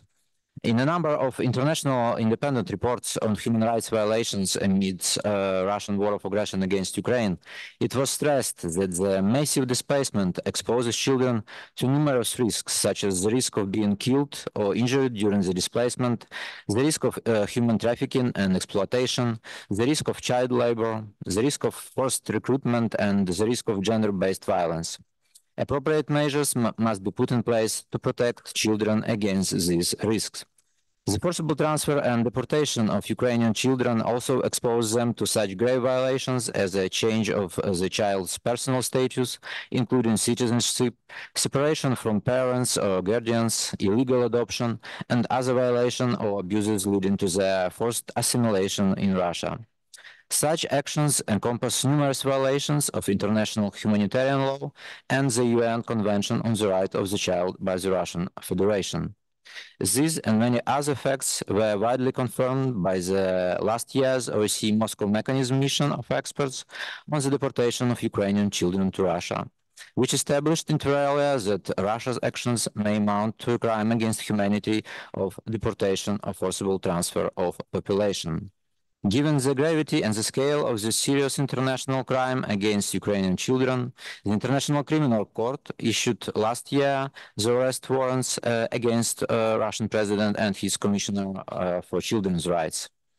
Uh, the delegation of Ukraine would like to underline the need for the OSCE uh, to pay special attention to the fate of all those illegally deported Ukrainian children, Ukrainian uh, children in flagrant uh, breach of uh, IHL and uh, undertake concrete steps to help ensuring the immediate and, and safe return to Ukraine, and uh, as well as the reunification with their families and through legal guardians.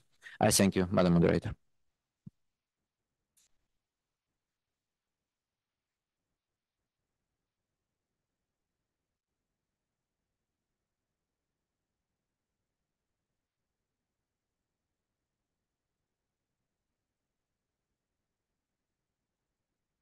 Ladies and gentlemen, distinguished guests, and uh, those who have provided the statements, we appreciate. And I, we've learned a lot from different countries. Um, as time, uh, we've, run out, we've run out of time. We're hoping that the panelists will give some last, last remark. But I want to make some uh, few uh, takeaway points. I think we put a face on who are vulnerable, who are the vulnerable people. We've from uh, those people on the move, from from people who uh, who are minorities. They mentioned the the people from Roma. They mentioned people with disabilities and people who are displaced. So for me, what I learned is that at the end of the day, it requires a, a comprehensive, trauma-informed, victim-centered, but the whole community approach and leaving no one behind. Uh, I, for one, I see, I see that the way forward is having a united front, uh, looking at it as um, a quote that I want to quote uh, to borrow from Benjamin Franklin, that justice will not be served until those who are affected are as outraged as those who are. Are we outraged enough? Because sometimes we are very far from the actual truth. We are uh, very far from the real experience of what horror human trafficking does. So if we're outraged enough, we'll be able to leave no one behind. Um, I don't know if you have a bit of remarks. I will just add my thanks uh, to our esteemed panelists um, for this great conversation and also for the interventions from the floor. And thank you for the great first day uh, of this year's Alliance Conference. We will resume tomorrow at 9 a.m. for panel two. Uh, and now we will have a reception um, in the same area where the coffee break was uh, that you are all welcome to attend. Thank you so much.